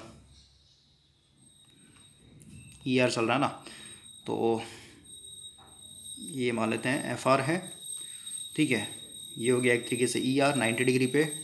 इधर मान लेते हैं आई ए है, यहाँ पे आपका मान लेते हैं एफ़ ए ठीक है? तो एफ़ ए से अगेन इसके चलते जो आपका वोल्टेज बन रहा था नाइन्टी डिग्री इधर नीचे आ रहा था ना ई ए आर तो अगेन यहाँ पे भी देखिए, आप यहाँ पे हैं एफ़ ए से देखना आपको, आप यहाँ पे है। तो ये पीछे वोल्टेज है ना अगेन क्या है क्लॉकवाइज डायरेक्शन में नहीं घूमना पड़ रहा भाई। तो इसलिए यहाँ पे हम लोग क्या लिखना होगा माइनस लिखना हो इसमें माइनस लिखना होगा, ठीक है? इस चीज़ को आप पकड़िए। तो भाई आपके बुक में लिखा हुआ है कि ई e एफ़ को हम लोग इस तरीके से लिख सकते हैं, और जैसे मैंने यहाँ पे कांस्टेंट सी लिखा है ना तो इन्होंने कांस्टेंट सी की जगह यहाँ पे के लिखा होगा, ठीक है? और कोई मतलब नहीं यहाँ पे। मतलब E F directly proportional F F के ऊपर होगा, इस सिंबल को हटाएँगे तो यहाँ पे के लग जाएगा, ठीक है? और यहाँ पे माइनस जे क्यों लगा रहे हैं, क्योंकि सब एक दूसरे से क्या हो रहा है? ये लैग कर रहा है नाइन्टी डिग्री ठीक है? इसके चलते हम लोगों ने माइनस लगाया। और तीन वोल्टेज है ना यहाँ पे तो और तीन एम एम एफ़ है तो तीन वोल्टेज बनेगा तीनों को हम लोगों ने इस तरीके से रिप्लेस कर दिया है। और मैंने इसको थोड़ा सा और फर्दर ब्रेक कर दिया है यहाँ पे। एम को भी ब्रेक कर दिया नंबर ऑफ़ टर्न्स और करंट की बेसिस तो उस, वैसे भी कर सकते हैं, ऐसे भी कर सकते कोई दिक्कत नहीं भाई। राइट तो इतना दिक्कत नहीं होना चाहिए, यहाँ तक समझ में आ गया होगा अब आपको। अब हम लोग आगे बढ़ते हैं।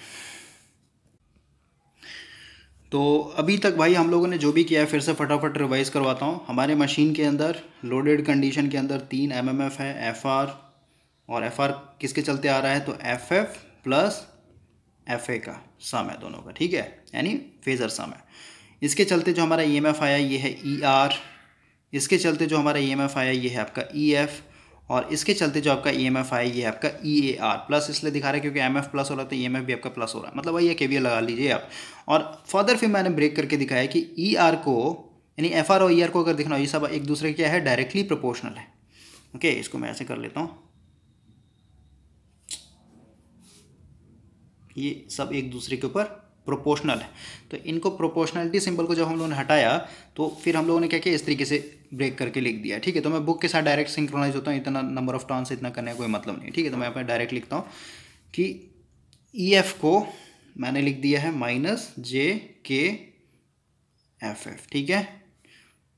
उसी तरीके से ई e आर को आप बुक में देखते चलिए, ठीक है? माइनस जे के एफ़ आर लिख दिया मैंने। और ई ए आर को मैंने लिख दिया, यहाँ पे माइनस जे के इंटू एफ़ है। ठीक है? इतना तक हम लोगों ने कर लिया है। अब हम लोग यहाँ पे ये जो इक्वेशन था ना आपका, इसको उठाएँगे यहाँ से। ठीक है? क्योंकि एम एम एफ़ को हम लोगों ने सबसे पहले ई एम एफ़ में कन्वर्ट किया एम एफ़ को फिर से हम लोगों ने ब्रेक डाउन कर दिया इस तरीके से। ठीक है? तो इस इक्वेशन को हम लोग उठाते हैं। और इसको यहाँ पे कहाँ लिखें? यहाँ पे लिखता हूँ। इस इक्वेशन को यहाँ पे लिख रहा हूँ भाई, ठीक है? ई e आर बराबर है आपका E F plus E A R right अब मैं यहाँ पे भाई, ये जो ई ए आर है ना, इसका वैल्यू पुट करता हूँ। ई e आर का वैल्यू क्या है? ये वाला वैल्यू तो इसको मैं यहाँ पे पुट करता हूँ, ठीक है? क्या हो जाएगा? ई e आर बराबर हो जाएगा E F plus plus minus minus हो जाएगा माइनस जे के एफ़ ए ठीक है? और अगर मैं इस वैल्यू को उस साइड में भेज दूँ तो क्या हो जाएगा? इधर बचेगा मेरा सिर्फ़ और सिर्फ़ ई एफ़ तो ई एफ़ दे तो उधर चला जाए तो क्या हो जाएगा? बराबर ई e आर और इधर जाके प्लस हो जाएगा। प्लस जे के एफ़ ए अब देखिए, अब आपको समझ में आएगा इस पर्टिकुलर इक्वेशन से कि हम लोगों ने आर्मेचर रिएक्शन के इफ़ेक्ट को हमेशा रिएक्टन से ही क्यों रिप्लेस किया है। अगर आप फेजर डायग्राम देखें भाई तो सिर्फ़ दो टर्म मैं यहाँ पे दिखाऊँगा, ठीक है? पूरा पूरा बार बार फेजर डायग्राम बनाऊँगा नहीं मैं। ये हो गया ई एफ़ ये हो गया आपका फ़ील्ड फ्लक्स। ये मान लेते हैं आपका वी टी था, ये मान लेते हैं आपका आई ए था। वी टी में हम लोगों ने आई ए आर ए ड्रॉप जोड़ा, यहाँ पे आपका I A into XL drop जोड़ा तो ये हो गया एक तरीके से ई e आर और ई e एफ़ को अगेन हम लोग को थोड़ा सा बड़ा बनाना पड़ेगा। ठीक है, यहाँ मान लेते हैं ये आपका ई e एफ़ तो अब समझिए भाई हम लोग को यहाँ पे कोई आइडिया नहीं लग रहा था ना। ई आर तक तो हम लोगों ने समझ लिया था ई एफ़ तक हम लोगों ने समझा हुआ था ऑलरेडी तो इन दोनों के बीच में हमेशा यहाँ पे क्या था, एक खालीपन रह गया था, ठीक है? यहाँ पे हम लोग को अब समझ में नहीं आ रहा था कि आर्मेचर रिएक्शन का जो भी यहाँ पे हम लोग बस इतना समझ में आता है, ये जो भी गैप है आर्मेचर रिएक्शन के चलते गैप है, ठीक है? लेकिन आर्मेचर रिएक्शन को आर्मेचर रिएक्शन से जो भी वोल्टेज ड्रॉप हो रहा है हम लोग कैसे ऐड करें? आइए के फ़ेज़ में ऐड करें मतलब रजिस्टिव लोड की तरह दिखा रहे हैं। अगर मैं कैपेसिटिव लोड दिखाऊँ तो उसमें लीड करवाना पड़ेगा। मतलब ये समझ में नहीं आ रहा था। तो ये इक्वेशन अब देखिए कैसे हम लोग को हेल्प करता है। यहाँ पे आपका ई एफ़ है, ठीक है? ई एफ़ यहाँ पे आप पहुँच जाइए, ठीक है? ई एफ़ अभी इसको मान के चल रहे हैं, ठीक है? इस मैग्नेट मतलब ई एफ़ पूरा का पूरा यहाँ से लेके यहाँ तक है, ठीक है? तो इक्वेशन क्या बोल रहा है? ई e एफ़ की अगर बात करें तो ई e एफ़ क्या है आपका? ई आर ई आर मतलब यहाँ पे ऑलरेडी हम लोग पहुँचे हुए हैं, ठीक है? ई e आर में मेरे को क्या करना है? जोड़ना है। क्या जोड़ना है भाई? ओहो, दिख रहा है यहाँ पे। देखिए, फिर से समझाता हूँ। ई एफ़ और ई आर के बीच में अभी गैप आ चुका है, लेकिन हम लोग को पता है ये गैप क्या है? ड्यू टू आर्मेचर रिएक्शन क्योंकि हम लोगों ने बाकी सब पैरामीटर को कंसिडर कर लिया भाई, ठीक है? तो अब जैसे ई एफ़ से ई आर तक जाना है मेरे को तो ये इक्वेशन बता रहा है भाई कि ई एफ़ क्या है? ई आर ई आर मतलब क्या? ये वाला वैल्यू इसमें और जोड़ेंगे प्लस ठीक है? यह जे अब समझिए जो जे लगा हुआ है यहाँ पे, ये जे सीधे सीधे डिफाइन करता है कि प्लस लगा हुआ है सबसे पहले भाई। प्लस मतलब क्या? ये लीड करेगा। समझ रहे बात को? मतलब ये जे काफ़ी इंपॉर्टेंट है। समझ रहे हैं? और इस एफ़ ए को मैं फिर से उसी तरीके से अगर ब्रेक करके लिख दूँ। देखिए, इसको मैं एफ़ ए को ब्रेक करके लिखता हूँ। यहाँ पे। E F equal to E R वैसे का वैसे ही रहने देते हैं। प्लस जे वैसे का वैसे ही के कॉन्स्टेंट वैसे का वैसे ही एफ़ ए को मैं क्या लिख सकता हूँ? नंबर ऑफ़ टर्न्स तो क्योंकि आर्मेचर ए लिखा हुआ ना आर्मेचर एमएफ है तो नंबर ऑफ़ टर्न्स आर्मेचर मान लेते हैं एन है, और यहाँ पे आर्मेचर करंट आई है, ठीक है? तो ये जो वैल्यू आया ना, इसके आगे या फिर ये पूरा जो वैल्यू आया, इसके आगे जे लगा हुआ भाई, ठीक है? तो जे लगा हुआ इसका मतलब क्या है? ये सीधे सीधे और प्लस है एक तरीके से। प्लस मतलब क्या एक तरीके से 90 डिग्री क्लॉकवाइज डायरेक्शन में आना है। क्लॉकवाइज डायरेक्शन मतलब क्या? अगर आप ई एफ़ ई एफ़ पे खड़े हो जाइए ई e एफ़ से ई e एफ़ लिखना होगा तो ये क्या ई आर प्लस मतलब ई e आर में इतना जोड़ना होगा। तो ई एफ़ में मतलब सीधी सी बात है भाई जोड़ना है ना? और ये जे क्या बता रहा है? क्लॉकवाइज डायरेक्शन माना क्लॉकवाइज डायरेक्शन मतलब इधर आना होगा, ठीक है? तो आपको ऐसे दिखाना होगा डायरेक्ट ठीक है? और ये जे ऑपरेटर क्या बता नाइन्टी डिग्री हमेशा, इधर से, इस वाले से कितना? Ninety degree, okay? तो ये कुछ इस तरीके से आपका आ जाए। मतलब समझिए जे ऑपरेटर जो आ गया ना, ये सीधे सीधे रिएक्टेंस के बारे में बता रहा है भाई, ठीक है? और ये जो आपका कांस्टेंट वैल्यू ना, जैसे आइए मल्टीप्लाई ये जो कांस्टेंट वैल्यू के इंटू एन इसको फिर हम लोग किस बेसिस पे रिप्लेस करते हैं? इसको हम लोग लिखते हैं एक्स ए आर यहाँ पे हम लोग को रिएक्टेंस नाम देना पड़ता है। क्यों? क्योंकि आगे में आपका जे लगा हुआ है। ठीक है? और ये जे कहाँ से है? क्योंकि आपको पता है जितने भी एम है, उन एमएमएफ के चलते जो भी आपका ईएमएफ बन रहा है मशीन के अंदर, वो सब क्या है? नाइन्टी नाइन्टी नाइन्टी डिग्री के फेस शिफ्ट पे है। यानी लैक कर रहा है आपका E M F M M F से, नाइन्टी डिग्री से। ठीक है? तो ये आपका जे आ गया। इसी, यही रीज़न है यहाँ पे कि वी टी वी टी में हम लोगों ने आई आर ए ड्रॉप जोड़ा, ठीक है? वाइंडिंग के चलते जो रेजिस्टेंस आया, वो वाला ड्रॉप लीकेज के चलते जो ड्रॉप आया, वो वाला ड्रॉप और फिर यहाँ से यहाँ तक, देखिए ई e आर से ई e एफ़ तक जाने के लिए आपको डायरेक्ट क्या करना है? या फिर ऐसा समझिए ना भाई, इतना समझ में आ गया तो। ऐसा समझिए। इतना तो कंफर्म हो गया कि आपको रिएक्टेंस से शो करना है, ठीक है? तो ये समझिए, ये आपका एक्स ए आर है और ये आ गया एक तरीके से एक्स ए एल तो इसको, ये दोनों रिएक्टेंस क्या हो जाएगा आपस में सीरीज़ में तो जुड़ जाएगा, ठीक है? तो जुड़ेगा तो इसको हम लोग क्या लिख सकते हैं? इस तरीके से दिखा सकते हैं अब हम लोग। ये हो जाएगा आपका यहाँ पे जो ड्रॉप होगा आई आर ड्रॉप और यहाँ पे जो होगा, इसको हम लोग दोनों को जोड़ दिया तो हम लोग बोलते हैं एक्सेस मतलब सिंक्रोनस रिएक्टेंस ठीक ना? तो यहाँ पे जो ड्रॉप होगा, क्या हो जाएगा? आई ए इंटू एक्सेस समझ रहे बात को? तो सीधी सी बात, अगर आपको ई e तक जाना है, अब जैसा वोल्टेज रेगुलेशन का हम लोग दिखाएँ, ये सॉरी फेजर डायग्राम दिखाएँ अगर तो ये मान लेते ई एफ़ है यहाँ पे, ठीक है? ये हो गया एक तरीके से वी टी ये हो गया एक तरीके से आई ए वी टी में अगर हम लोग I A into R A drop जोड़ दें, यानी ये वाला ड्रॉप अब इसके बाद ये वाला जो ड्रॉप है क्या है एक तरीके से? रिएक्टिव है, पूरा रिएक्टेंस है ना? तो रिएक्टेंस का मतलब यहाँ से सीधे आपको 90 डिग्री भाग जाना पड़ेगा, ठीक है? इसको थोड़ा सा मैं और ऊपर कर लेता हूँ ये को। हो करंट को ज़्यादा ही मैंने लैग करवा दिया भाई, ठीक है? इसको ऐसे समझिए। ये सीधे सीधे आपको जुड़ जाएगा, ठीक है? क्योंकि आपने ये दोनों दोनों को कंबाइन करके एक रिएक्टेंस से दिखाते तो एक ही बार ना दिखाना होगा तो इसे क्या होगा? नाइन्टी डिग्री एक तरीके से तो सीधे जुड़ जाएगा। तो ये आपका सेकंड वाले फेजर डायग्राम में देखिए, ये आपका वीटी था आई आर ड्रॉप था, अब यहाँ से डायरेक्ट क्या किया है? नाइन्टी डिग्री पूरा एकदम स्ट्रेट लाइन खींच दिया, ठीक है? जिसमें आपका ये ई ER आर आ चुका है और फिर आपका ये ई एफ़ आ चुका है, ठीक है? तो यहाँ से लेके यहाँ तक आपका लीकेज का ड्रॉप दिखाया गया और यहाँ से क्या है आपका ये आर्मेचर रिएक्शन के कारण दिखाया गया। और दोनों को जोड़ दीजिएगा तो आपका ये एन टू एक्सेस मतलब जहाँ पे एक्सेस क्या है, एक तरीके से सिंक्रोनस रिएक्टेंस है।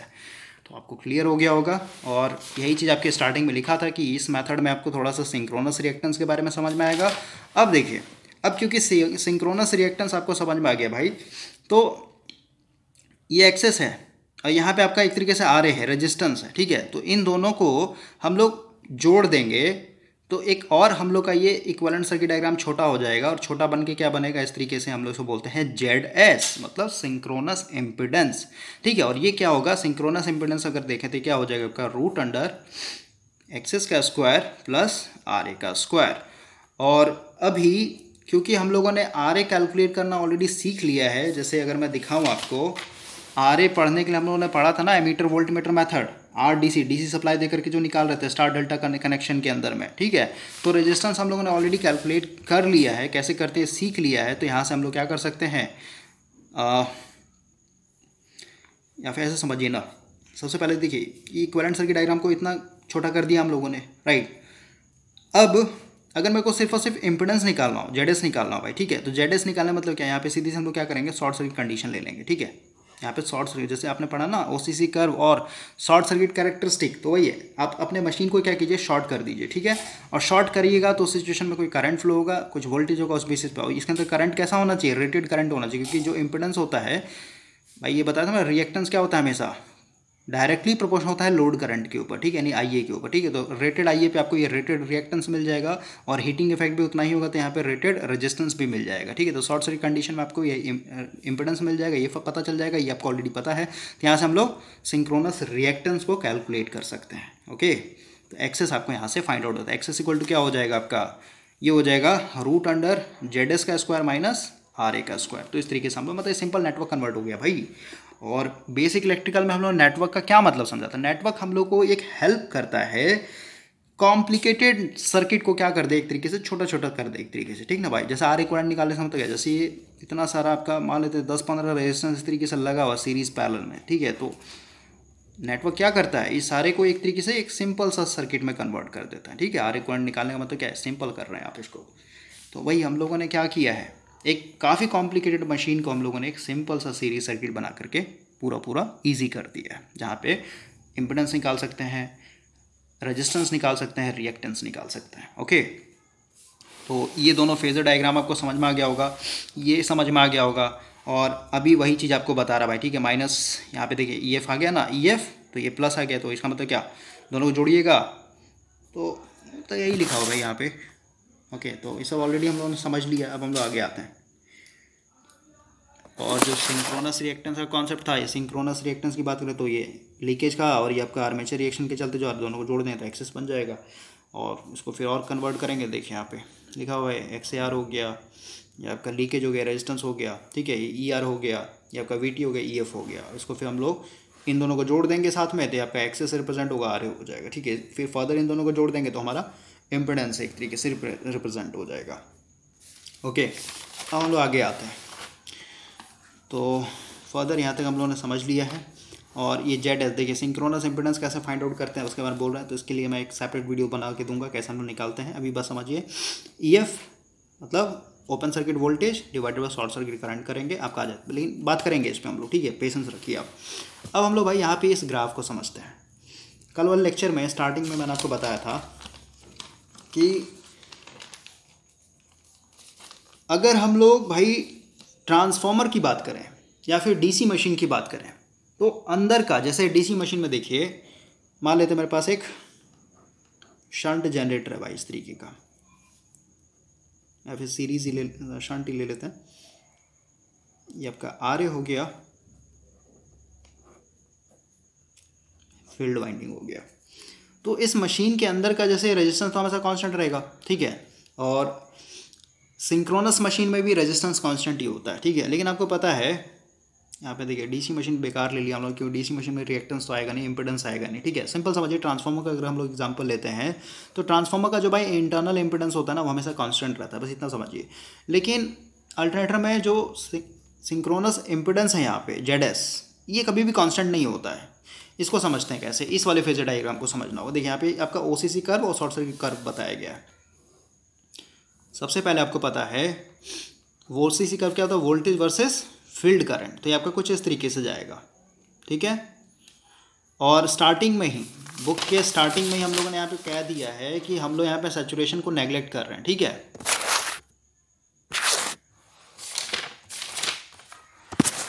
ठीक है तो ये हो गया एक तरीके से मतलब ओपन सर्किट में या फिर कहीं ओ सी कर्व कैसे आपका वोल्टेज बिल्डअप होता है, फिर कहीं मैग्नेटाइजेशन कर्व उस हम लोग शॉर्ट सर्किट भी पढ़ा था शॉर्ट सर्किट कैरेक्टरिस्टिक तो शॉर्ट सर्किट कैरेक्टरिस्टिक हमेशा लीनियर जाता है, कभी भी सेचुरेट नहीं होता, क्योंकि इसमें आपका, क्योंकि शॉर्ट सर्किट में क्या होता है, आपका ओवरऑल जो जनरेटर है, पूरा पूरा प्योर इंडक्टिव बन जाता है, ठीक है? Zero lagging power factor load की तरह होता है तो वहाँ पर जो आर्मेचर रिएक्शन होता है प्योर डीमैग्नेटाइजेशन होता है, ठीक है? इसलिए करंट बढ़ेगा तो उतना ही रिस्पेक्ट में आपका फ्लक्स घटा देता है आर्मेचर रिएक्शन ठीक है? तो उसके चलते वोल्टेज आपका हमेशा ही इस तरीके से बनता है, ठीक है? तो शॉर्ट सर्किट क्या था आपका? ये आपका हमेशा field flux sorry field current versus आपका, देखिए यहाँ पे लिखा हुआ ना ई एफ़ ई एफ़ मतलब क्या? आपका ओ सी सी ई एफ़ देखिए, ये आपका एक्स एक्सिस को क्या दिखाया? आई एफ़ दिखाया, ठीक है? तो एक्स एक्सिस हम लोग का कॉन्स्टेंट है। लेकिन इस वाले ग्राफ में ना तीन तीन ग्राफ है भाई, ठीक है? एक तो मैंने ओ सी सी कर्व दिखाया इस तरीके से, ठीक है? एक मैंने यहाँ पे short circuit characteristic short circuit characteristic मैंने बताया था आपको कि फ़ील्ड फ्लक्स फ़ील्ड फ्लक्स तो अनिवार्य है, रहेगा ही रहेगा, क्योंकि भाई फ़ील्ड फ्लक्स देंगे नहीं तो मैग्नेट कैसे बनेगा? मैग्नेट कैसे नहीं बनेगा तो ई एफ़ कहाँ से आएगा? ई एफ़ नहीं आएगा तो करंट कहाँ से आएगा? समझ बात तो? ऐसे भी आप याद शॉर्ट सर्किट क्या होता है? आई एफ़ वर्सेज यहाँ पे शॉर्ट सर्किट करंट देखिए यहाँ पे कुछ लिखा होगा, ये लिखा है ना शॉर्ट सर्किट करंट मतलब ये एक तरीके किसके कर्व के लिए है? ये वाले कर्व के लिए, ठीक है? ये ई एफ़ किसके लिए है? ये आपके ओ सी सी कर्व के लिए बता रहा है। और ये जो एक और है ना, ये एक और एक्सिस ये वाला एक्सिस इसमें आपका इंपोर्टेंस को भी दिखा दिया गया। मतलब इसमें आपका क्या है शॉर्ट सर्किट करंट का भी बताएगा ये ईएमएफ का भी बताएगा ये, और इसी एक्सिस पे हम लोग अपने जेड को भी रिप्रेजेंट करेंगे। ठीक है, अब जेड इम्पिडेंस बराबर क्या होता है? जेड बराबर क्या होता है भाई? वी बाई आई होता है voltage divided by current right तो समझिए, अगर हम लोग देखें इस लीनियर तक लीनियर वाले रेंज में अगर देखें, सिर्फ़ और सिर्फ़ यहाँ तक, ठीक है, इस वाले पॉइंट तक, देखिए वोल्टेज आपका धीरे धीरे बढ़ते जा रहा है, बढ़ते जा रहा है, बढ़ते मतलब वोल्टेज आपका एक दिन लीनियरली राइज हो रहा है। करंट भी आपका लीनियरली राइज हो रहा है, समझ रहे बात को? तो इनका जो रेशी होगा ना, क्योंकि जिस रिस्पेक्ट में आपका वोल्टेज बढ़ रहा है, उसी रिस्पेक्ट में आपका करंट भी बढ़ जा रहा है भाई, ठीक है? दस, जैसे भाई, अगर रेशियो की बात करें रेशियो क्या होता है? ए बाई बी ठीक है? तो ए मान लेते हैं पाँच था, अब बी भी आपका मान लेते पाँच है, अब दोनों में आपका सेम रेशो से बढ़ रहा है बी पाँच बढ़ रहा है ए भी आपका पाँच बढ़ रहा है तो दोनों कट जाएगा ना, दस दस बटा बना ratio one is to one ही रहेगा हमेशा, ठीक है? तो ये दोनों क्या है, एक तरीके से लीनियरली बढ़ रहा है, इसका मतलब क्या, हम लोग का इनका रेशो एक तरीके से कॉन्स्टेंट है रेशो कॉन्स्टेंट करने मतलब इम्पोर्टेंस मेरा क्या होगा, एक तरीके से कॉन्स्टेंट रहेगा, ठीक है? यानी ये जो मैंने यहाँ पे दिखाया, यहाँ तक, ये जेड है भाई, ठीक है? ये जेड का एक्सेस समझिए, यहाँ तक इम्पिडेंस मेरा क्या होगा? कांस्टेंट रहेगा, क्योंकि जिस रिस्पेक्ट में मेरा वोल्टेज बढ़ रहा है, उसी रिस्पेक्ट में मेरा शॉर्ट सर्किट करंट भी बढ़ते चला जा रहा है, ठीक है? लेकिन इस पॉइंट से देखिए, अब क्या होगा?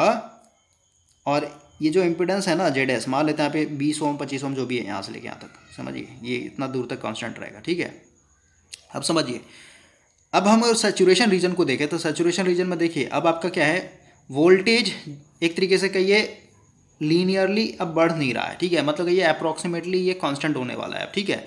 तो लेकिन शॉर्ट सर्किट करंट जो है, आपका करंट फर्दर आपका क्या होगा? हमेशा लीनियरली बढ़ते चला जाता है ना भाई? समझ रहे बात? क्यों? क्योंकि यहाँ पे आर्मेचर रिएक्शन डीमैग्नेटाइजेशन पूरा पूरा आ रहा है। ओके इसका मतलब क्या हुआ? अगर, अब हम लोग आफ्टर सेचुरेशन वाले रीजन की बात करें तो यहाँ पे जो जेडएस होगा वी बाई आई होता है तो वोल्टेज आपका एक तरीके से कहिए अप्रॉक्सीमेटली कांस्टेंट हो गया लेकिन जो करंट है, अभी भी इट्स इट्स स्टिल क्या हो रहा है? एक तरीके से इंक्रीज होते चला जा रहा है, ठीक है? अब आप बोलिएगा यहाँ पे कि आप इम्पिडेंस को शॉर्ट सर्किट करंट से क्यों कोरिलेट कर रहे हैं? क्योंकि भाई यहाँ पे मेथड ये होता है सिंक्रोनस इम्पिडेंस फाइंड आउट करने का, ये एफ़ डिवाइड हुआ शॉर्ट सर्किट करंट इसलिए हम लोग शॉर्ट सर्किट करंट को एक तरीके से लेकर चल रहे हैं। शॉर्ट सर्किट करंट को ही क्यों मानते हैं यहाँ पे? तो उसके ऊपर जस्ट बताया कि डिस्कस करेंगे एक लेक्चर के ऊपर। ठीक है? बस समझिए कि अब देखिए आफ्टर सेचुरेशन आपका ये शॉर्ट सर्किट करंट लीनियरली बढ़ते चला जा रहा है, बढ़ते चला जा रहा है, लेकिन जो वोल्टेज है ये अप्रॉक्सीमेटली कांस्टेंट है। मतलब ऊपर वाला पैरामीटर फिक्स हो गया, लेकिन ये ऑटोमेटिक बढ़ रहा है। तो इनके बीच में इन्वर्सली प्रोपोर्शन है तो आइए बढ़ेगा। तो शॉर्ट सर्किट करंट बढ़ेगा तो इम्पिडेंस क्या होगा? घटने लगेगा। ठीक है, इसका मतलब क्या हुआ? यहाँ से आपका इस तरीके से फर्दर डिक्रीज होने लगेगा। ठीक है तो ये आपका ग्राफ यहाँ पे बता रहा है इसी चीज़ को। यानी इस एक ग्राफ में तीन तीन चीज़ बताया गया भाई। ठीक है इम्पिडेंस को बताया गया है वोल्टेज को बताया गया है और शॉर्ट सर्किट करंट को बताया गया है। ओके तो इतना दूर तक, यानी ये वाला पॉइंट क्या है? कांस्टेंट है। ठीक है, सच, देखिए, यहाँ तक लीनियर था ना ये, लेकिन लीनियर में जैसे ही आफ्टर सेचुरेशन यानी ऊपर जा रहा है तो इधर आपका फिर ये धीरे धीरे घटने लगेगा। इसका मतलब आपका जो जेड होता है, ये जेड कभी भी कांस्टेंट नहीं होता है सिंक्रोनस मशीन के अंदर, ठीक है? जेड आपका कौन डिफाइन करेगा? जेड आपका डिफाइन करता है फ़ील्ड करंट ठीक है? जैसे इस फ़ील्ड करंट पे अगर आप अपने मशीन को ऑपरेट कर रहे हैं तो इस पर्टिकुलर फ़ील्ड करंट के लिए आपका जेड कितना मिलेगा? ये वाला वैल्यू मिलेगा। यानी जेड अभी क्या है? एक तरीके से लार्ज है। मैक्सिमम है ना भाई? समझ रहे बात को? अभी मैक्सिमम वैल्यू जेड का ही क्योंकि जेड का ग्राफ ही यही है। समझ रहे बात को? और जेड मिनिमम किधर आ रहा है? इधर वाला मतलब आफ्टर सेचुरेशन जो होता है जेड आपका एक तरीके से क्या होता है? कम हो जाता है। ओके तो जेड कभी भी कांस्टेंट नहीं होता, ये समझिए। और जेड का जो वैल्यू होता है वो, एक पर्टिकुलर फ़ील्ड करंट के बेसिस पे हमेशा क्या होता है? चेंज होते चला जाता है। ठीक है? तो जो भी हम लोग अल्टरनेटर ऑपरेट करेंगे ना उसमें हम लोग का सबसे ज़्यादा इंपॉर्टेंट हो जाता है फ़ील्ड करंट यानी किस फ़ील्ड करंट पे? क्योंकि हर एक फ़ील्ड करंट पे आपका देख रहे हैं। जेड क्या है एक तरीके से? चेंज होते चला जा रहा है, ठीक है? ऐसे लीनियर रीजन तक तो ये कांस्टेंट रहेगा, लेकिन उसके बाद चेंज होते चला जा रहा है, ठीक है? अब देखिए, अगर आप फ़ील्ड करंट इतने मतलब लीनियर रीजन के अंदर वाले फ़ील्ड करंट पे अगर आप ऑपरेट करवाते हैं मशीन को, इधर वाले पे तो क्योंकि इधर इम्पिडेंस काफ़ी मैक्सिमम है, समझ रहे बात को? जेड काफ़ी लार्ज है, और जेड काफ़ी लार्ज है, इसका मतलब क्या? मशीन के अंदर इंटरनल ड्रॉप बहुत ज़्यादा देखने को मिलेगा। जैसे, यहाँ पे सीधे सीधे जेड लिख देता हूँ भाई, ठीक है? तो ये क्योंकि अभी आपका काफ़ी लार्ज है, क्योंकि हम लोग इतने वाले मतलब सेचुरेशन के अंदर वाले फ़ील्ड करंट पे काम कर रहे हैं तो यहाँ पे ड्रॉप काफ़ी ज़्यादा देखने को मिलेगा। और ड्रॉप काफ़ी ज़्यादा देखने को मिलेगा इसमें मतलब क्या वोल्टेज रेगुलेशन क्या होगा आपका? काफ़ी घटिया हो जाएगा मशीन का, ठीक है? नो लोड पे 200 वोल्टेज है और ये काफ़ी लार्ज है तो ये वोल्टेज काफ़ी खाया हमारा पचास वोल्ट खा गया था यहाँ पे कितना मिलेगा? कोई डेढ़ सौ वोल्ट ही मिलेगा। इसका मतलब क्या हुआ? इधर मेरा वोल्टेज रेगुलेशन इस वाले रीजन में काफ़ी घटिया हो जाता है, ठीक है? तो ये एक तरीके से भाई, आपको ये समझ में आ गया होगा तो ठीक है, ऐसे तो समझ में आ जाना चाहिए आपको। और इस फेजर डायग्राम को समझते हैं, ठीक है? उतना हम लोग ज़्यादा खींचेंगे नहीं इसको। तो इसको हम लोग समझते हैं। अब यहाँ पे सीधे सीधे दिखाया उसी को समझिए। मेरा इधर उतना बार बार फेजर डायग्राम नहीं बताएगा बुक में, ठीक है ना? आप सिंपल इमेजिन कीजिए। हम लोग बाहर से देख रहे हैं, कहाँ से? इधर से वीटी की तरफ़ से देख रहे हैं। तो मेरा वीटी वोल्टेज था इसे मेरा करंट लैग कर रहा था। ये मेरा हो गया I into R A drop यहाँ से एकदम नाइन्टी डिग्री पर पेंडिकुलर दी तो यहाँ पे आपका एक्सेस हो जाएगा। अब बार बार हम लोग ई e आर को नहीं रिप्रेजेंट करेंगे, ठीक है? क्योंकि अब डायरेक्ट हम लोग ने स्टडी कर लिया, ठीक है? तो समझिए ई e एफ़ और VT के बीच में जो वोल्टेज ये एंगल होता है बोलते हैं डेल्टा, ठीक है? इसको लोड एंगल बोला जाता है। और वीटी और आई के बीच में, क्योंकि ये आपका आउटपुट टर्मिनल वोल्टेज और करंट है तो सीधी सी क्या बोलते हैं? मतलब पावर फैक्टर एंगल भाई थीटा ओके तो यही चीज़ आपका यहाँ पे भी लिखा हुआ है। For calculating the value voltage regulation only one value of Z can be use मतलब बताया ना मैंने आपको कि जेड आपका हमेशा चेंज होते रहता है, ठीक है फ़ील्ड करंट के हिसाब से। तो वोल्टेज रेगुलेशन जब भी आप फाइंड आउट कर रहे हैं तो जेड का कोई एक वैल्यू लेके चलना पड़ेगा। जेड का एक वैल्यू लेके चलने का मतलब क्या आपको फ़ील्ड करंट को एक तरीके से फिक्स करना होगा, यानी सेलेक्ट करना होगा इस वाले फ़ील्ड करंट पे ऑपरेट करना चाहते हैं, या फिर इस वाले फ़ील्ड करंट पे वोल्टेज रेगुलेशन फाइंड आउट करना चाहते हैं, इस पर करना चाहते हैं, इस पर करना चाहते हैं, इस पर मतलब हर एक फ़ील्ड करंट पर वोल्टेज रेगुलेशन अलग अलग चला जाएगा, ठीक है? तो वही बोल रहा है। किसी एक जेडएस को चूज़ करना होगा and since it is variable क्योंकि ये एक तरीके से चेंज हो रहा है विथ एक्साइटेशन मतलब फ़ील्ड करंट के हिसाब से केयर शुड बी यूज़ अब हो रहा है generally the lowest value of the Z S obtain from the largest possible short circuit current सीधी सी बात, अगर आपको इंपोर्टेंस कम चाहिए तो सीधी इंपोर्टेंस कब, कम कहाँ मिलेगा? जब आपका शॉर्ट सर्किट करंट एक तरीके से लार्जेस्ट होगा। ठीक है मतलब वही सब लिखा हुआ जो मैंने आपको समझाया। ठीक है तो इतना हम लोग कॉम्प्लिकेटेड नहीं करेंगे। अब अब हम लोग के पास थोड़ा सा और कैलकुलेशन बचा हुआ है, ये वाला भाई, ठीक है ना? ये तीन फेजर डायग्राम और समझना है। बस, इसके बाद आपको ये वोल्टेज रेगुलेशन कैलकुलेट मतलब ख़त्म ही, अब एक लेक्चर और हम लोग बात करेंगे इस पर तो ज़्यादा ही लेंदी लेक्चर हो जाएगा। उसके बाद फिर हम लोग का ये मेथड ख़त्म हो गया। तो उसको हम लोग रहन देते हैं नेक्स्ट लेक्चर को स्टार्ट करेंगे।